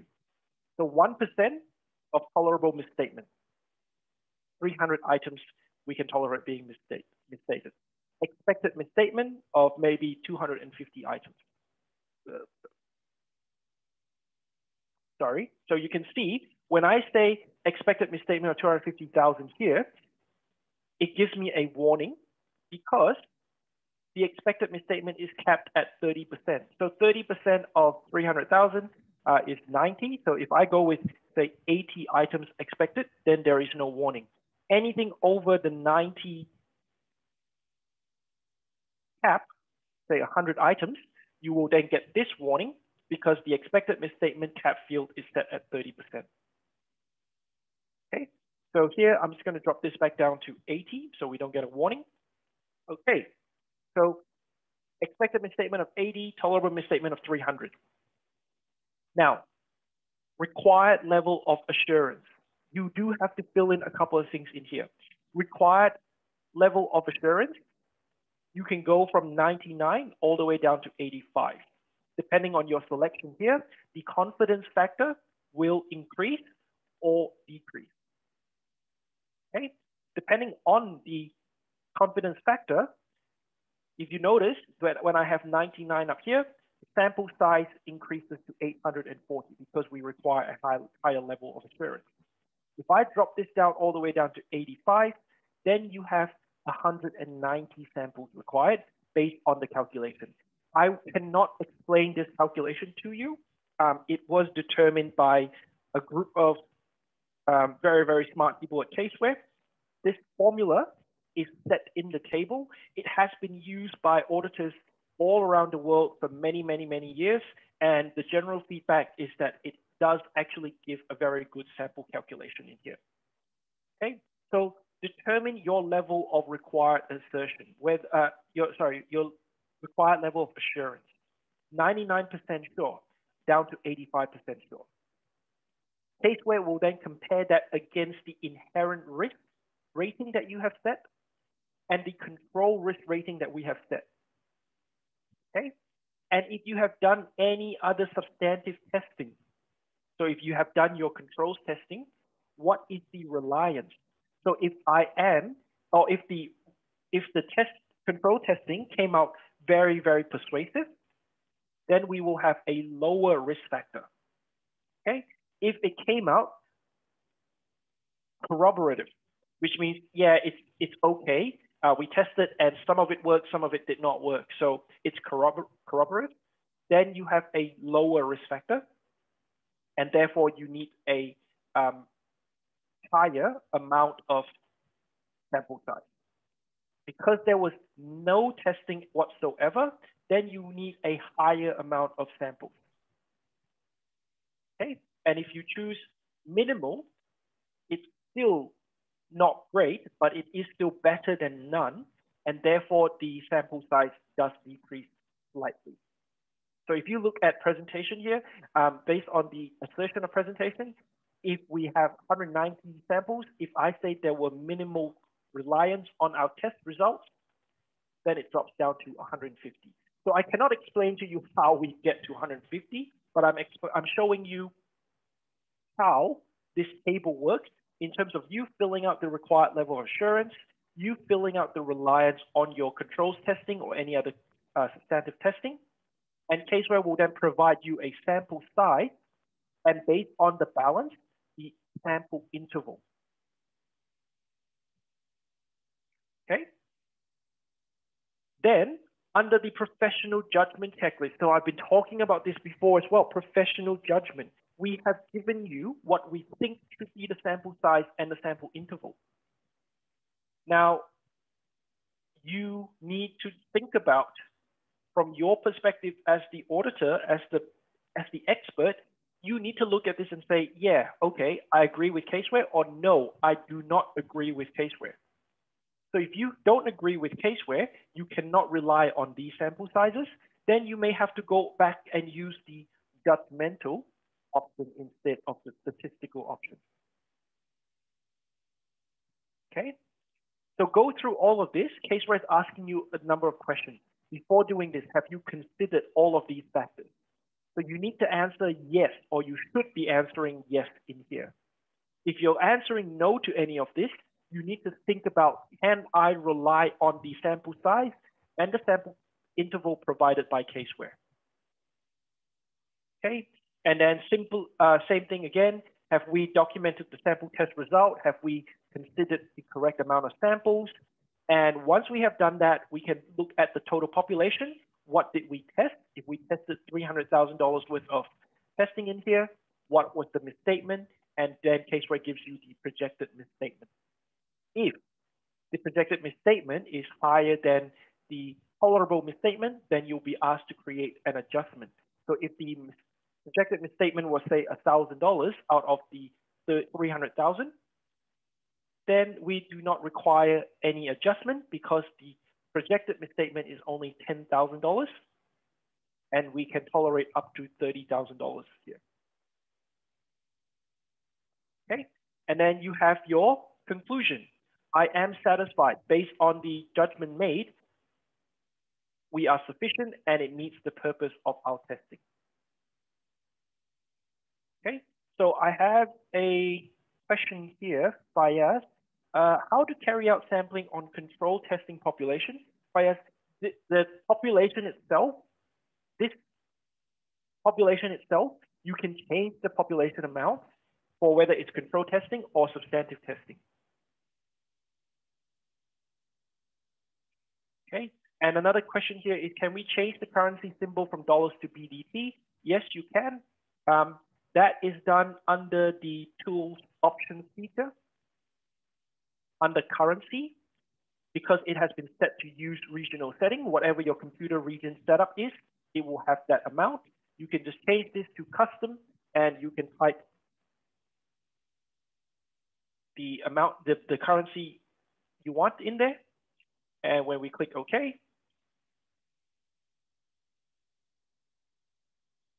it will have that for you.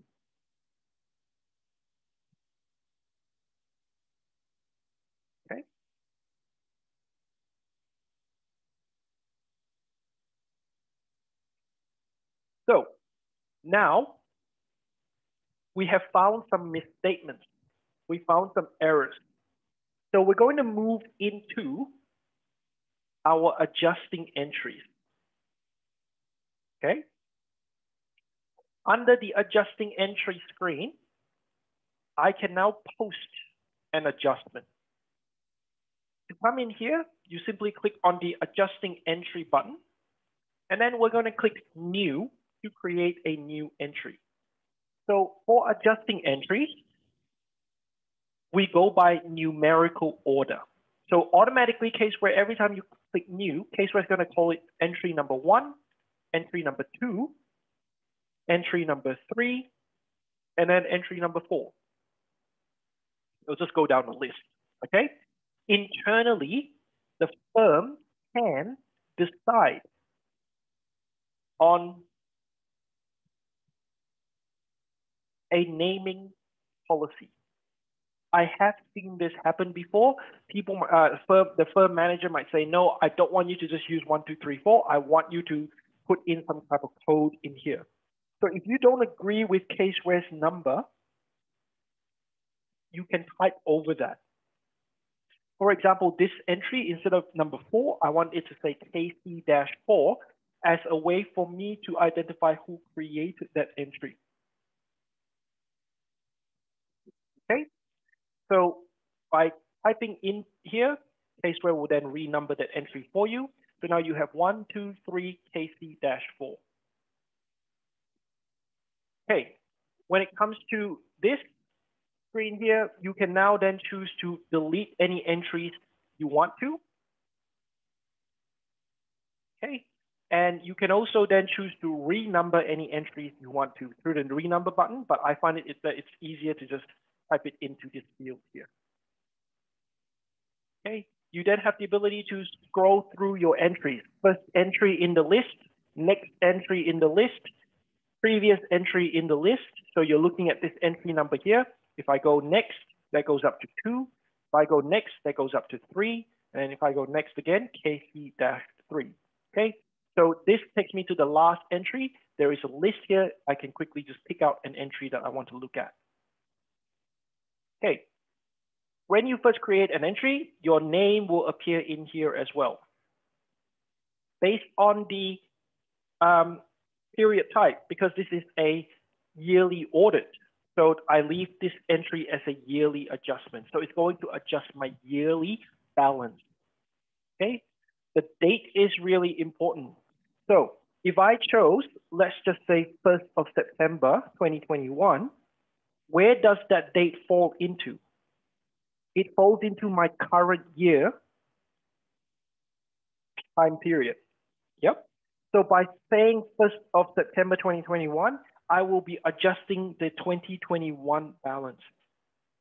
If I change this to 2020, then Caseware will adjust the prior year balance. Okay, similarly, if you change it to 2019, then it will become a prior year balance as well. So I'm gonna make this a current year adjustment, meaning it will adjust my current year balance. I can refer to any document. So this is my document list. Remember the engagement letter 409 that appears in here. So any document you bring into your document manager will appear in this list as a supporting document to this adjustment. Okay. Type of adjustment, we have normal adjusting, reclassifying, unrecorded factual, unrecorded projected, unrecorded judgmental, and eliminating. Do not use the prior period or anything under eliminating. These are the only adjustments that you should be using, okay? The rest do not apply to what you are doing. So just use from normal adjusting down to eliminating if you have any consolidated and um, engagement. Okay, so here I'm just going to quickly choose a unrecorded factual for now because we have found, um, sorry, unrecorded projected. So we use the sampling document from before.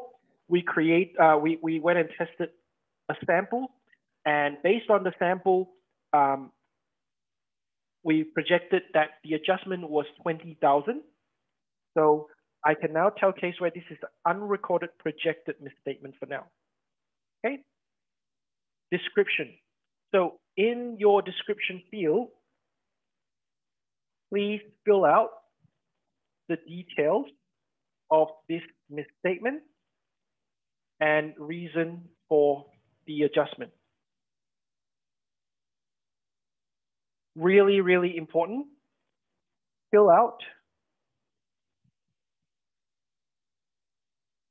with all details available. So make sure you are as detailed as possible. And I'll explain that in a moment, why that's the case. Okay, moving on to this next uh, option here, we have the ability to repeat this adjustment in the future years. So you have a recurring option here. If I activate the recurring option, when I roll this file into 2022, Caseware will automatically create the same adjustment for us. I don't have to go in and adjust, create this adjustment again. It's automatically created. Okay. If you are going to create a recurring adjustment, go into the advanced screen. And one thing you can consider is excluding the amount. So if this is an adjustment that needs to happen every year, but the amount may change, I can say exclude the amount, and then I will come in and key in the adjusting amount later on. I can also then choose to how long this adjustment should keep going. Should it keep going every year? There is no end date. Should this adjustment only happen for the next five years? Or should it end by a specific year? So maybe 2027. Okay, if it does, then it will run to 2027 and then stop happening again. Okay, there is also the ability to reverse this adjustment. So if this adjustment is for one year and then next year I want to reverse the exact opposite amount, Caseware can then automatically do this when you roll this file forward into 2022. Okay, but now I'm just gonna select none because we don't want any recurrence. Okay, so in here, we can then now start adjusting our trial balance. So based on the account that we found, maybe it was something in um, long-term investment. Okay, I can click on the number account number field here. I click the drop down, and Caseware will bring up my a list of all my accounts. So under long-term investments, I select, and Caseware says, okay, here is the account detail what is the total amount of the account? So I'm going to say $20,000. That's the adjustment. Okay. If the account does not exist yet, you can then also type an account number in. Caseware is going to say the account does not exist. Do you want to recreate it? I can say yes. And then we can enter a name for the account. Okay. I'm not going to do that, but there is the option to very quickly create a new account that no that does not exist in the file yet. So in here, uh, we can then choose the balancing account or the other side of the adjustment. So I'm going to choose salaries and benefits here, just as an example. And when you choose the account, Caseware automatically tries to balance it out for you. I did not type that second 20,000. Caseware automatically balances out for you. So if that's correct, great. I can just close this now and put the adjustment through. But if it's not, you can then come in and type over that amount yourself. Okay? So if it's just $10,000, you can put that in and the adjustment is now unbalanced. So if I choose to close out of this now, Caseware is going to ask you, do you want to leave the entry unbalanced? Yes, we will close that out. If it's no, you can then come back in and change that amount later on. So obviously you do not leave an unbalanced journal, but let's say we don't know the other side of the account. I'm, I'm waiting on someone else to come back to me. I can leave this as it is for now, but I want to come back and change it later on, okay? Really, really important. So once you have the other side of the account, you can come in and I can say, this is payroll clearing. I need the remaining 10,000 to go in there. If that's not 10,000, you can then say it's 5,000. You can then add an extra account to finally fully balance it out. So you can add as many accounts. There's no limit here how many accounts you want. What ideally happens is that you want one adjustment for a specific reason. So you don't just group all your adjustments into one entry because that would be really confusing for everyone. You would create different entries, document um, different reasons for that adjustment. Okay, so this is an unrecorded journal. If I come into my trial balance here, under the adjustment screen, you're not going to see any adjustments yet. So I'm going to quickly come into my adjustment here. I'm going to go back out to adjustment number one. And let me just quickly create an adjustment here.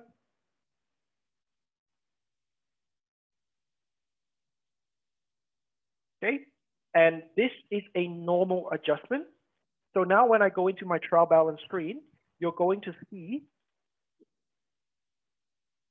you're going to see the $5,000 adjustment here for employee deductions payable, as well as life insurance, uh, sorry, as well as advertising and promotion.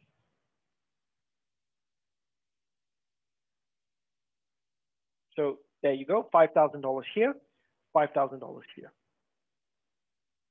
Okay, that's because it was set up as a normal adjusting. You can choose reclassifying or eliminating, and that would go ahead and adjust your trial balance now. If you leave it as unrecorded, it will not change the trial balance yet. So unrecorded journals are proposed journals, which means I now need to send this information to my client. I'm going to send it to them and say, hey, here are the adjustments I think you should put through your file. Okay. How do we do that? You can pull up an email, you can pull up, pick up the phone, you can send a text message, or using Caseware, under the completion folder, identified misstatements, you have uncorrected misstatements, uncorrected factual, projected, or judgmental misstatements. Okay, what this means is if I open up this here, you will get the adjustment that we have just put through. Remember, I said in your description, please fill in as much information. That description will come into this document here. Okay.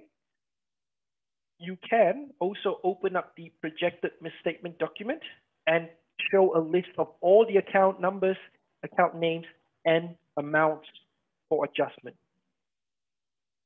Remember, fill in all the information here. Why do we want to do that? I can now right click in this document, save as a PDF. I'm gonna save it onto my desktop and click OK. And now on my desktop, I have this unrecorded misstatement projected PDF in a report here. All I have to do is attach it to my email and I can send it off to the client and say, hey, uh, James, this is the list of adjustments that we have identified and we think you should put through your account. Please come back with me and confirm if this is correct. And if they say, yep, it's okay, I have accepted all these adjustments into my accounting system. Sorry, I just accidentally closed that. Let me reopen it.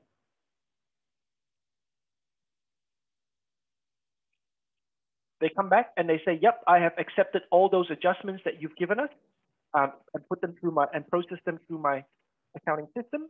I can then come into the adjusting entry screen, pick out the unrecorded journal that we were talking about, and automatically change it from unrecorded projected to normal adjusting. Once it's been set to normal adjusting, you'll notice that the misstatement automatically chose projected for us as well because I went from unrecorded projected to normal adjusting. If you go from unrecorded factual to normal adjusting, then the misstatement type will be factual for you. Okay, so once it has been set to normal adjusting or reclassifying or even eliminating, Caseware can then come into the trial balance screen here and you will find the you will find the adjustments to my long-term investment account, $20,000 here under the adjustment. And employee deductions payable, retain uh, dividends, as well as the salaries and benefits. Okay, so that once it goes into, once it goes into your normal adjustment, it will then come into your trial balance.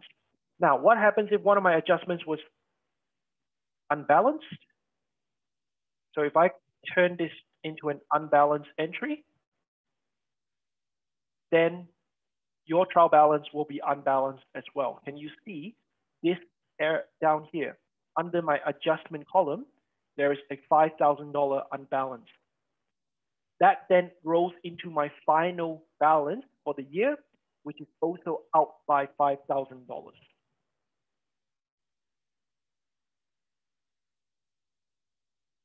Okay. Uh, Subrata, how to identify the total number of adjustments made in the TB? So in your working trial balance screen, you can quickly look for the adjustment um, column here and look for the adjustment, the adjusted amount. Go into your adjusting screen here and look at all the different adjustments that you have set up. Or under my document manager, if I come into the uncorrected misstatement here, you'll see that there are no unrecorded misstatements yet. But once we can also then go into the adjusted journal entries, and you will see a list of all the entries that went from unrecorded to final.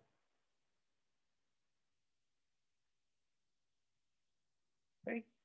Um, and then we have all adjusted journal entries, 335.20. This will give me a list of all the journals that are in my file. That's one that you can use, Subrata, to identify the total number of adjustments. Okay.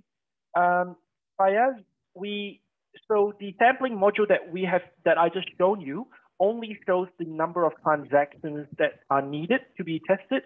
We do have a separate tool that can allow you to pick random samples from a um, from a population or from a sample of transactions or list of transactions. Um, that is a bit more of an advanced uh, document that we do not have time scheduled for today to look at. What I can do over the next month or so, and um, the plan is that we will have um, follow-up sessions, Q&A sessions, um, and if you can raise this question again maybe later in the future, the potentially what I would do is I would then record tip vids, like quick videos, 10 minutes, five minute videos on very, very specific topic like this to show you how to use those documents. Okay, but before we reach that level, I do require a bit more um, competency from you guys in terms of using Caseware first before we delve into those kind of documents because they are a bit more advanced and a bit more complicated than, um, than the basic documents that we're looking at here. Okay, so yeah, do put that down, do jot that down as a note. But if I told you how to use it today, um, it won't make a lot of sense because a lot of things do require a bit more of an understanding of Caseware first. Okay, so we have now found some um, adjustments we need to make. We put those through. What we're now going to look at is reportable items. So as we were doing our testing, someone asked before, what happens if we found misstatements? What happens if we found issues we need to raise with the team of management? What happens if we find weaknesses in the audit? Okay, you can use notes, you can use issues, but, but when I show you this next module here, you are going to say, yes, let's use reportable items instead of all the other stuff that we've looked at so far. So like we mentioned on Saturday, um, we have three modules that run in at the top here. You have your risk, which is the red item. You have your controls, which is the blue items to document all your risks and controls. When you find an issue that you need to raise with the management team, you are going to create what we call a reportable item. A reportable item allows you to document weaknesses or issues that you have found that you need to report to those charged with governance or the management team. So in here, you are going to create a new reportable item, okay? So before we go into that, I'm going to just pick out a couple of risks. So the risk that we added was overdue receivables. Okay, based on uh, the overdue receivables, we then went and tested competent staff. So one of the policies or one of the controls that was created was that they have created a competent staff policy, um, and the client had said we're going to follow these this uh, policy when we hire staff and we deal with training. Now, very nice, the policy was there, etc. Okay, but then when you went through the control testing or when you walk, did a walkthrough, you noticed that the policy was not followed by anybody. So nobody followed the policy, nobody was following the training program, nobody was following anything. So now there is a reportable item because it's a weakness that we found. So we can say this item here is competence staff policy. Based on our observation, no one was following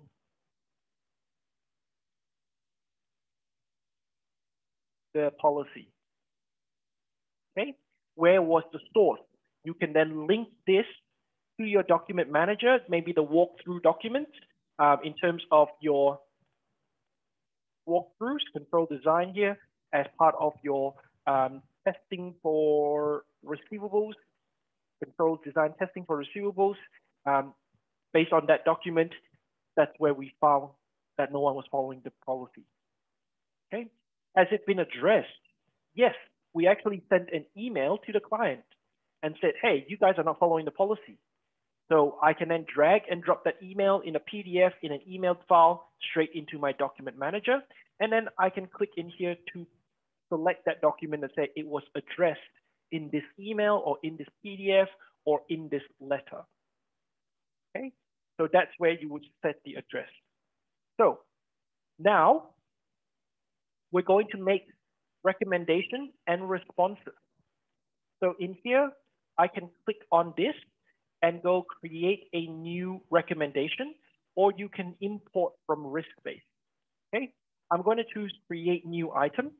And what, what is the recommendation?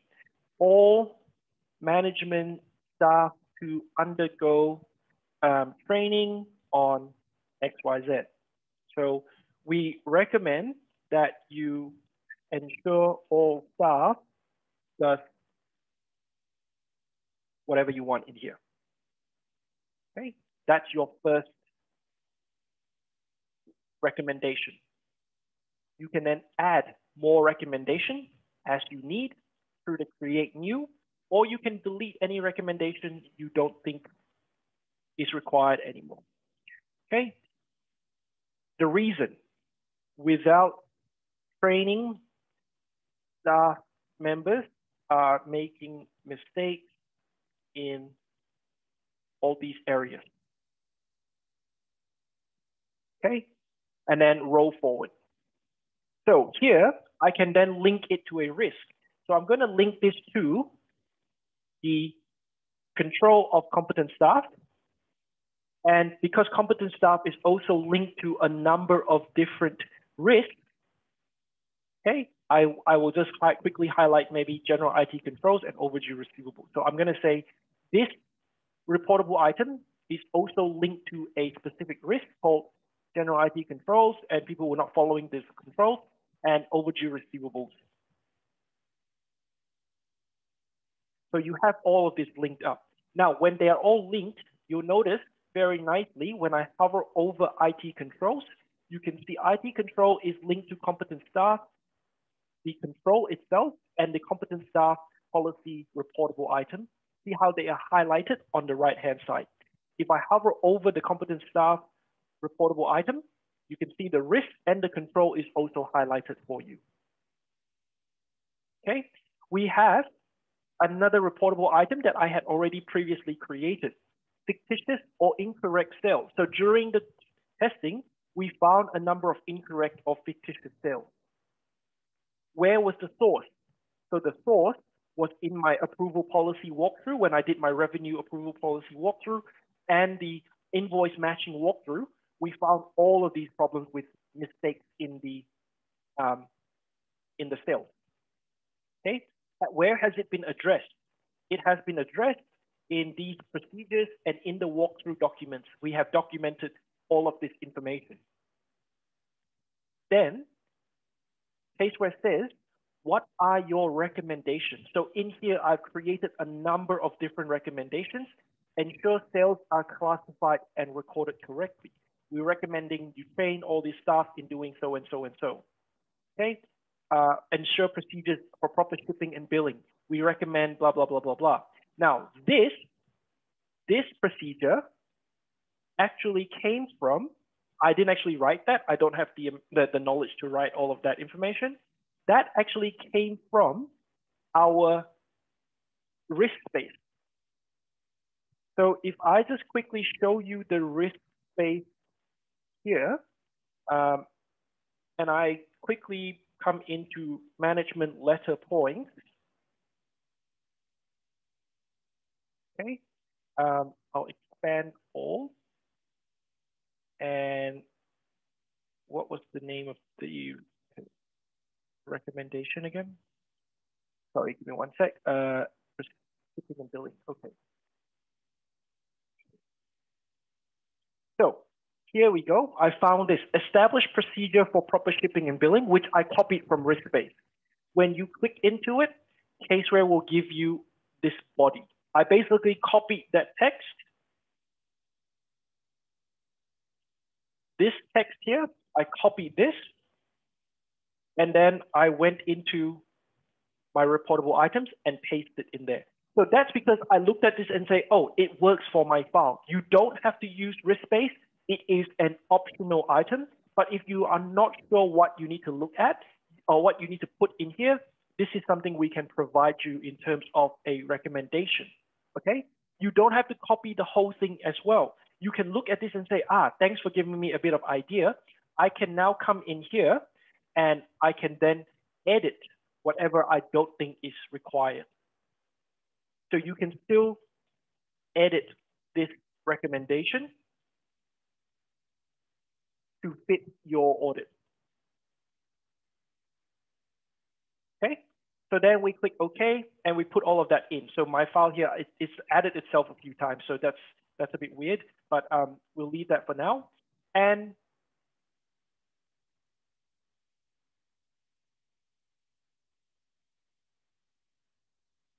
And I'm going to save that by clicking the OK button.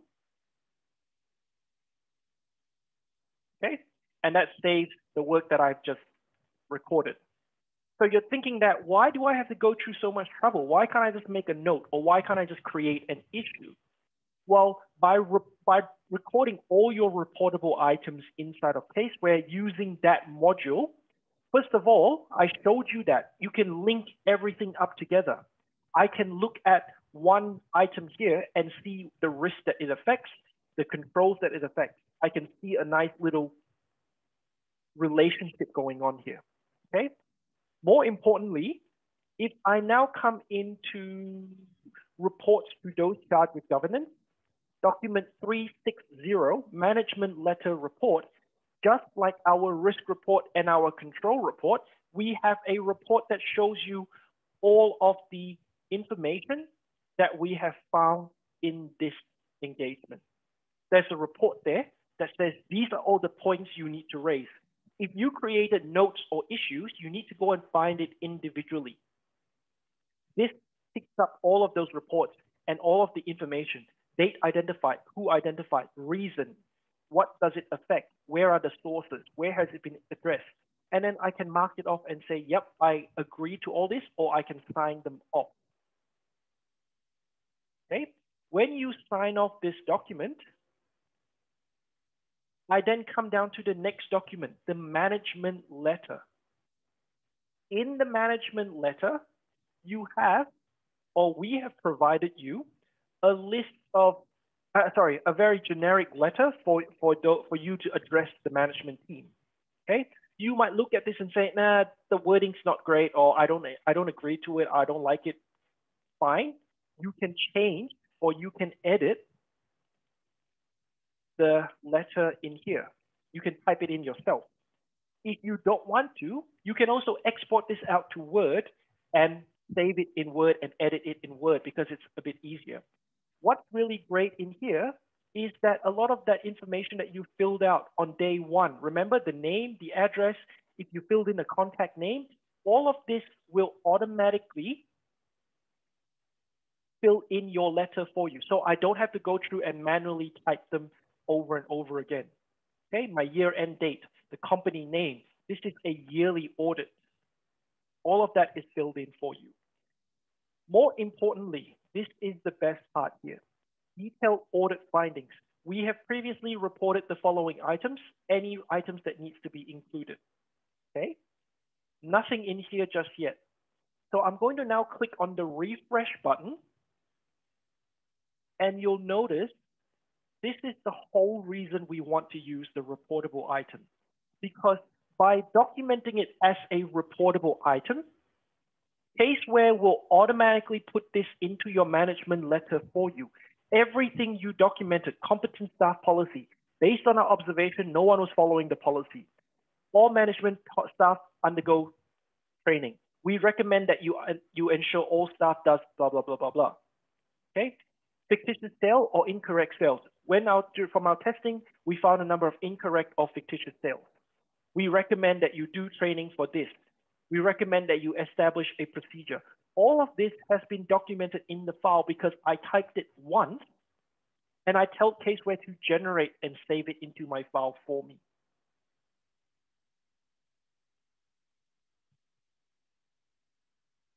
Okay.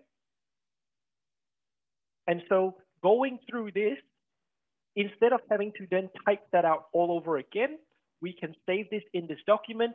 I can then go file, export to RTF, rich text format, export it out to Word, PDF, export it out to PDF. So all documents, not just the management letter, all documents within inside of Caseware has that, uh, has that ability to either export to RTF or export to PDF. From the top here, I can also right click and save as a PDF if I want to, and that will turn this management letter into a PDF that I can send out very, very quickly and very easily. Okay.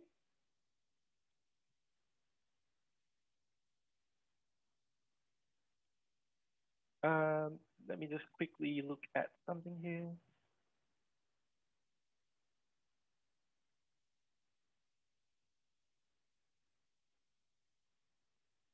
Okay, so we're gonna step away from the normal procedure here for a moment. I just realized that a lot of people have one license and they're talking about switching users and changing users.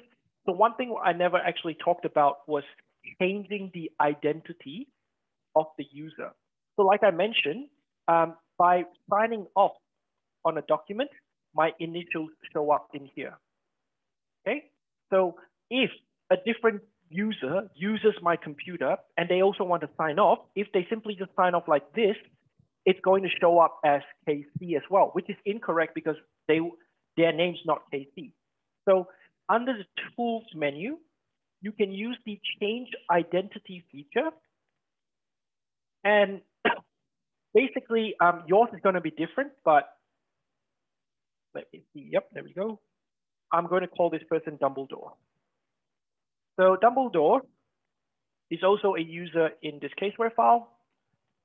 And here, I have the ability to then change that user to Dumbledore and click OK. And now, when I choose to sign off as the junior, notice that my identity is Dumbledore.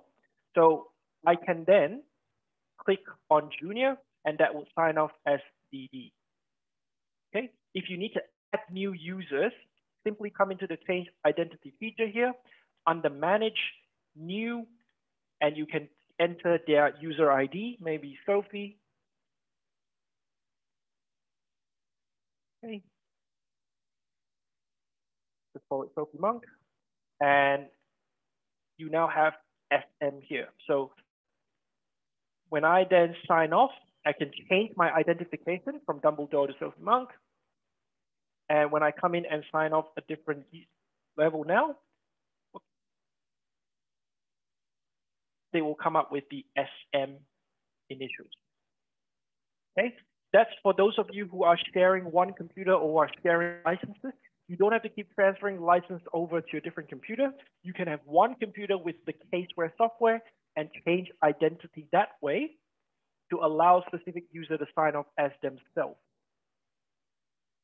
And this is really important um, that you have all the different identifications because if you have the wrong identification or different, the same identification that all signs off as KC, um, maybe the partner's initials is KC and it's got completed by, reviewed by, partner, manager, or KC, then as a reviewer or a regulator, I'll come in and say, hang on, did one person do this work or did everybody, you know, sign off as the partner? Because that's really unsafe.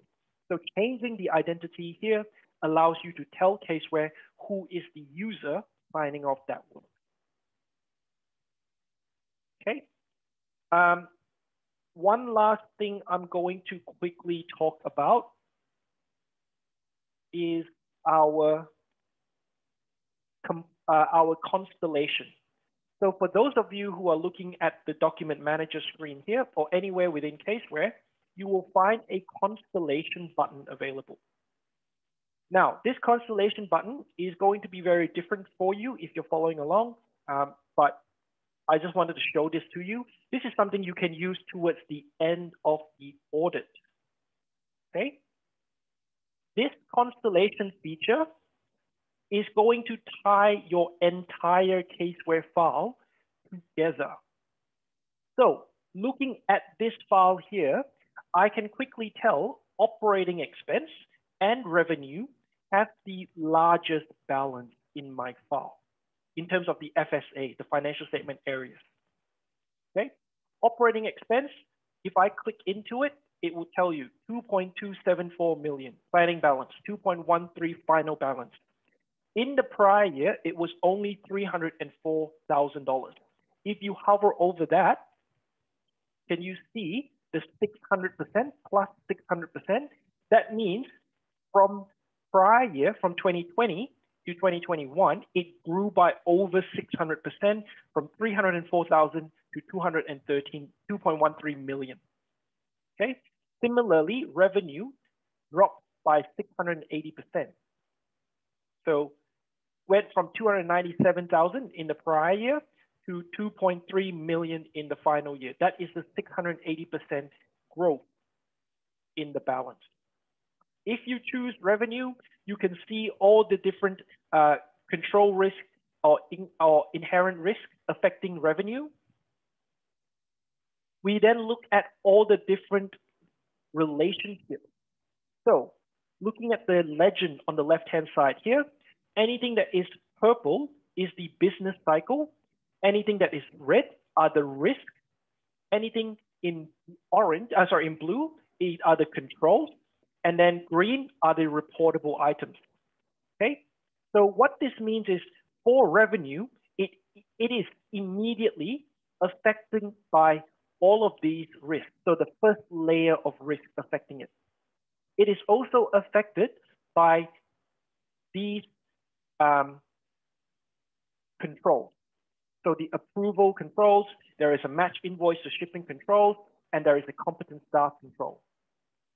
Okay, um, you have the reportable items. So how this is linked through approval to revenue uh, recognition risk to the incorrect sales uh, control reportable items.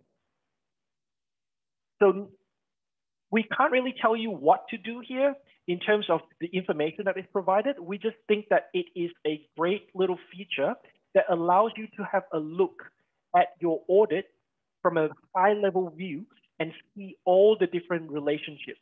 Now, this may be very, very messy. So what I can do, instead of looking at direct and indirect consequence connections, I can just show me direct connection. So immediately, what is automatically and immediately linked to revenue? All these risks, all these controls, and this business cycle.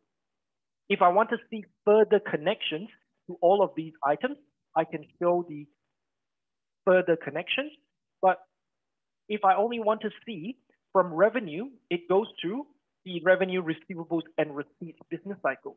If I want to see all the relationships linked to revenue, receivables, and receipts, click on that, and you will see all the items that are linked to revenue, receivables, and receipts. Okay. If I want to see the overdue receivables risk and all the items that are linked to it, click into that, and it will highlight the relationship, the direct relationship, not the indirect relationship. Okay. You can look at the different views. So here, I want to look at just all my risk, just the FSA, including the two largest FSA, my reportable items.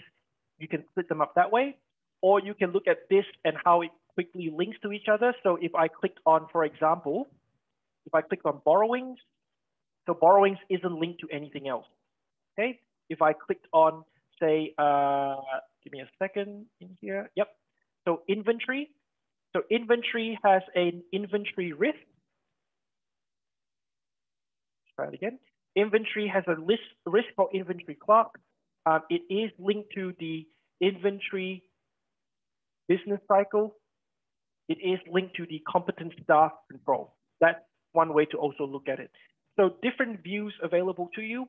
And what's also really important in here are the different levels of the audit. So based on planning, at the moment, I'm seeing everything, everything including material, immaterial, or zero balance items. So from planning here, I can say, just show me material FSA, risk and control. And that will just hide the immaterial items in my file. So it's a more simpler look in here. Okay. Risk assessment, you have all of these different areas. Risk response, we have all of these different views.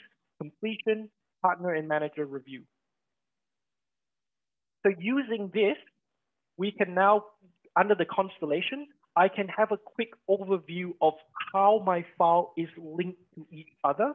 But also, when I come into my dashboard now, I can also see which area has been started, which area still needs to be completed, which area is not available to my file. Those are all the different dashboards that we have available to you. Okay, so um, looking at the time here, we have reached our schedule, planned schedule ending.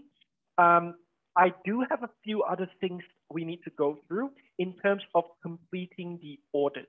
There's a number of documents in here that we haven't looked at yet. And then we need to talk about year-end close, cleanup, and lockdown.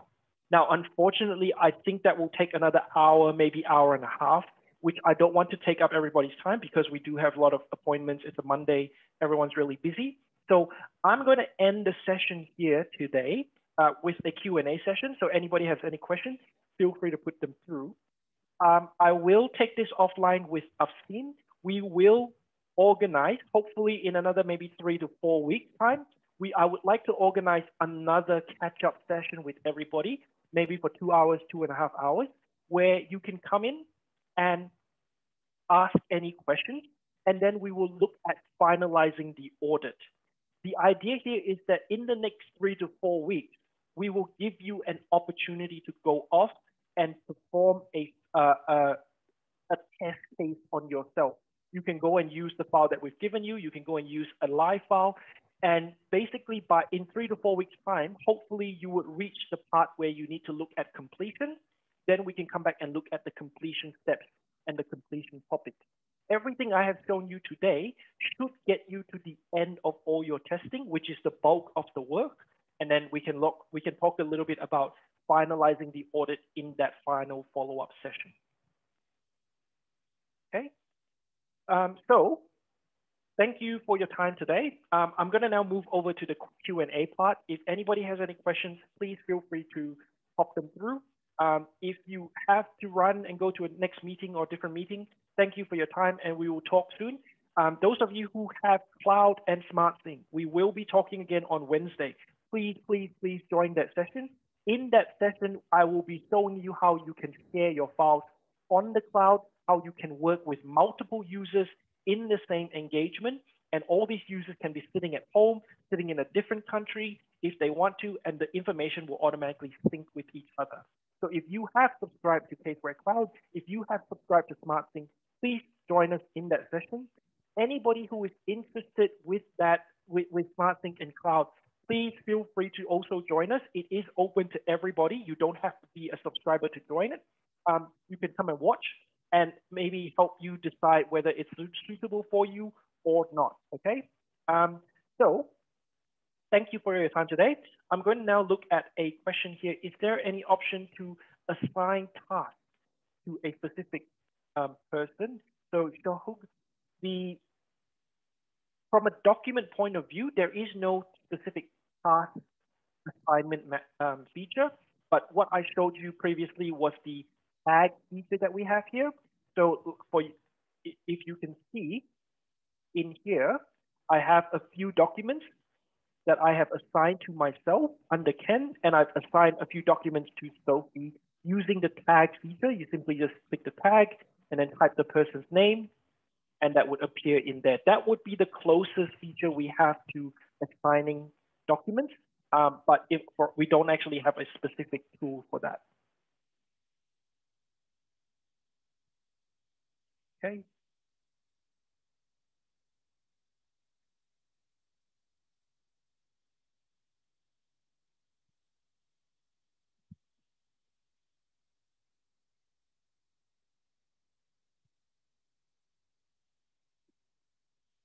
Wonderful. That's so.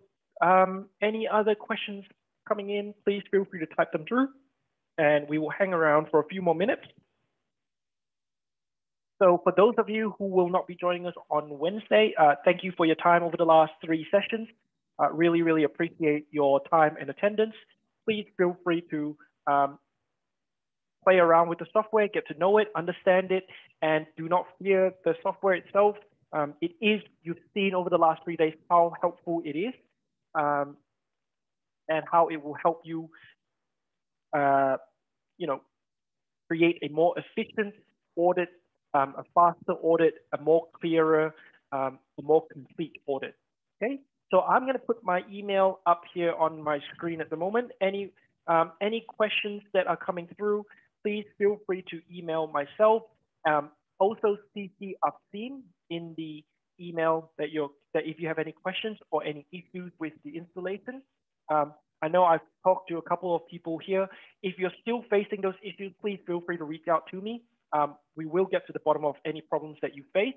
Also, another email that you can um, email is Singapore underscore info at caseware.com. That is our Singapore help desk team. They are also able to help you in any scenarios where I'm not available. Um, if to be complete, you can email both both emails as well as Afseen's email put them all in there and the appropriate person will get back to you with any answers that is appropriate, okay? So I'm just looking through here, uh, no other questions coming in. So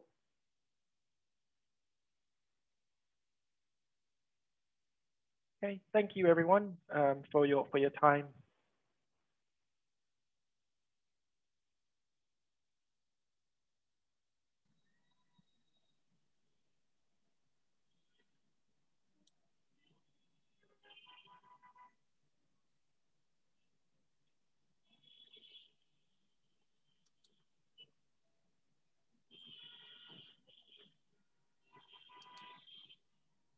Okay, so if there is no other questions coming in, I will now end this session. So it was really good to talk to everybody.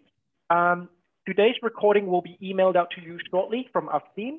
Um, for those of you who are also not joining us uh, tomorrow on Wednesday, please bear in mind we have another Q&A session coming up on Monday, uh, next week, Monday the 28th at 11 o'clock uh, local time.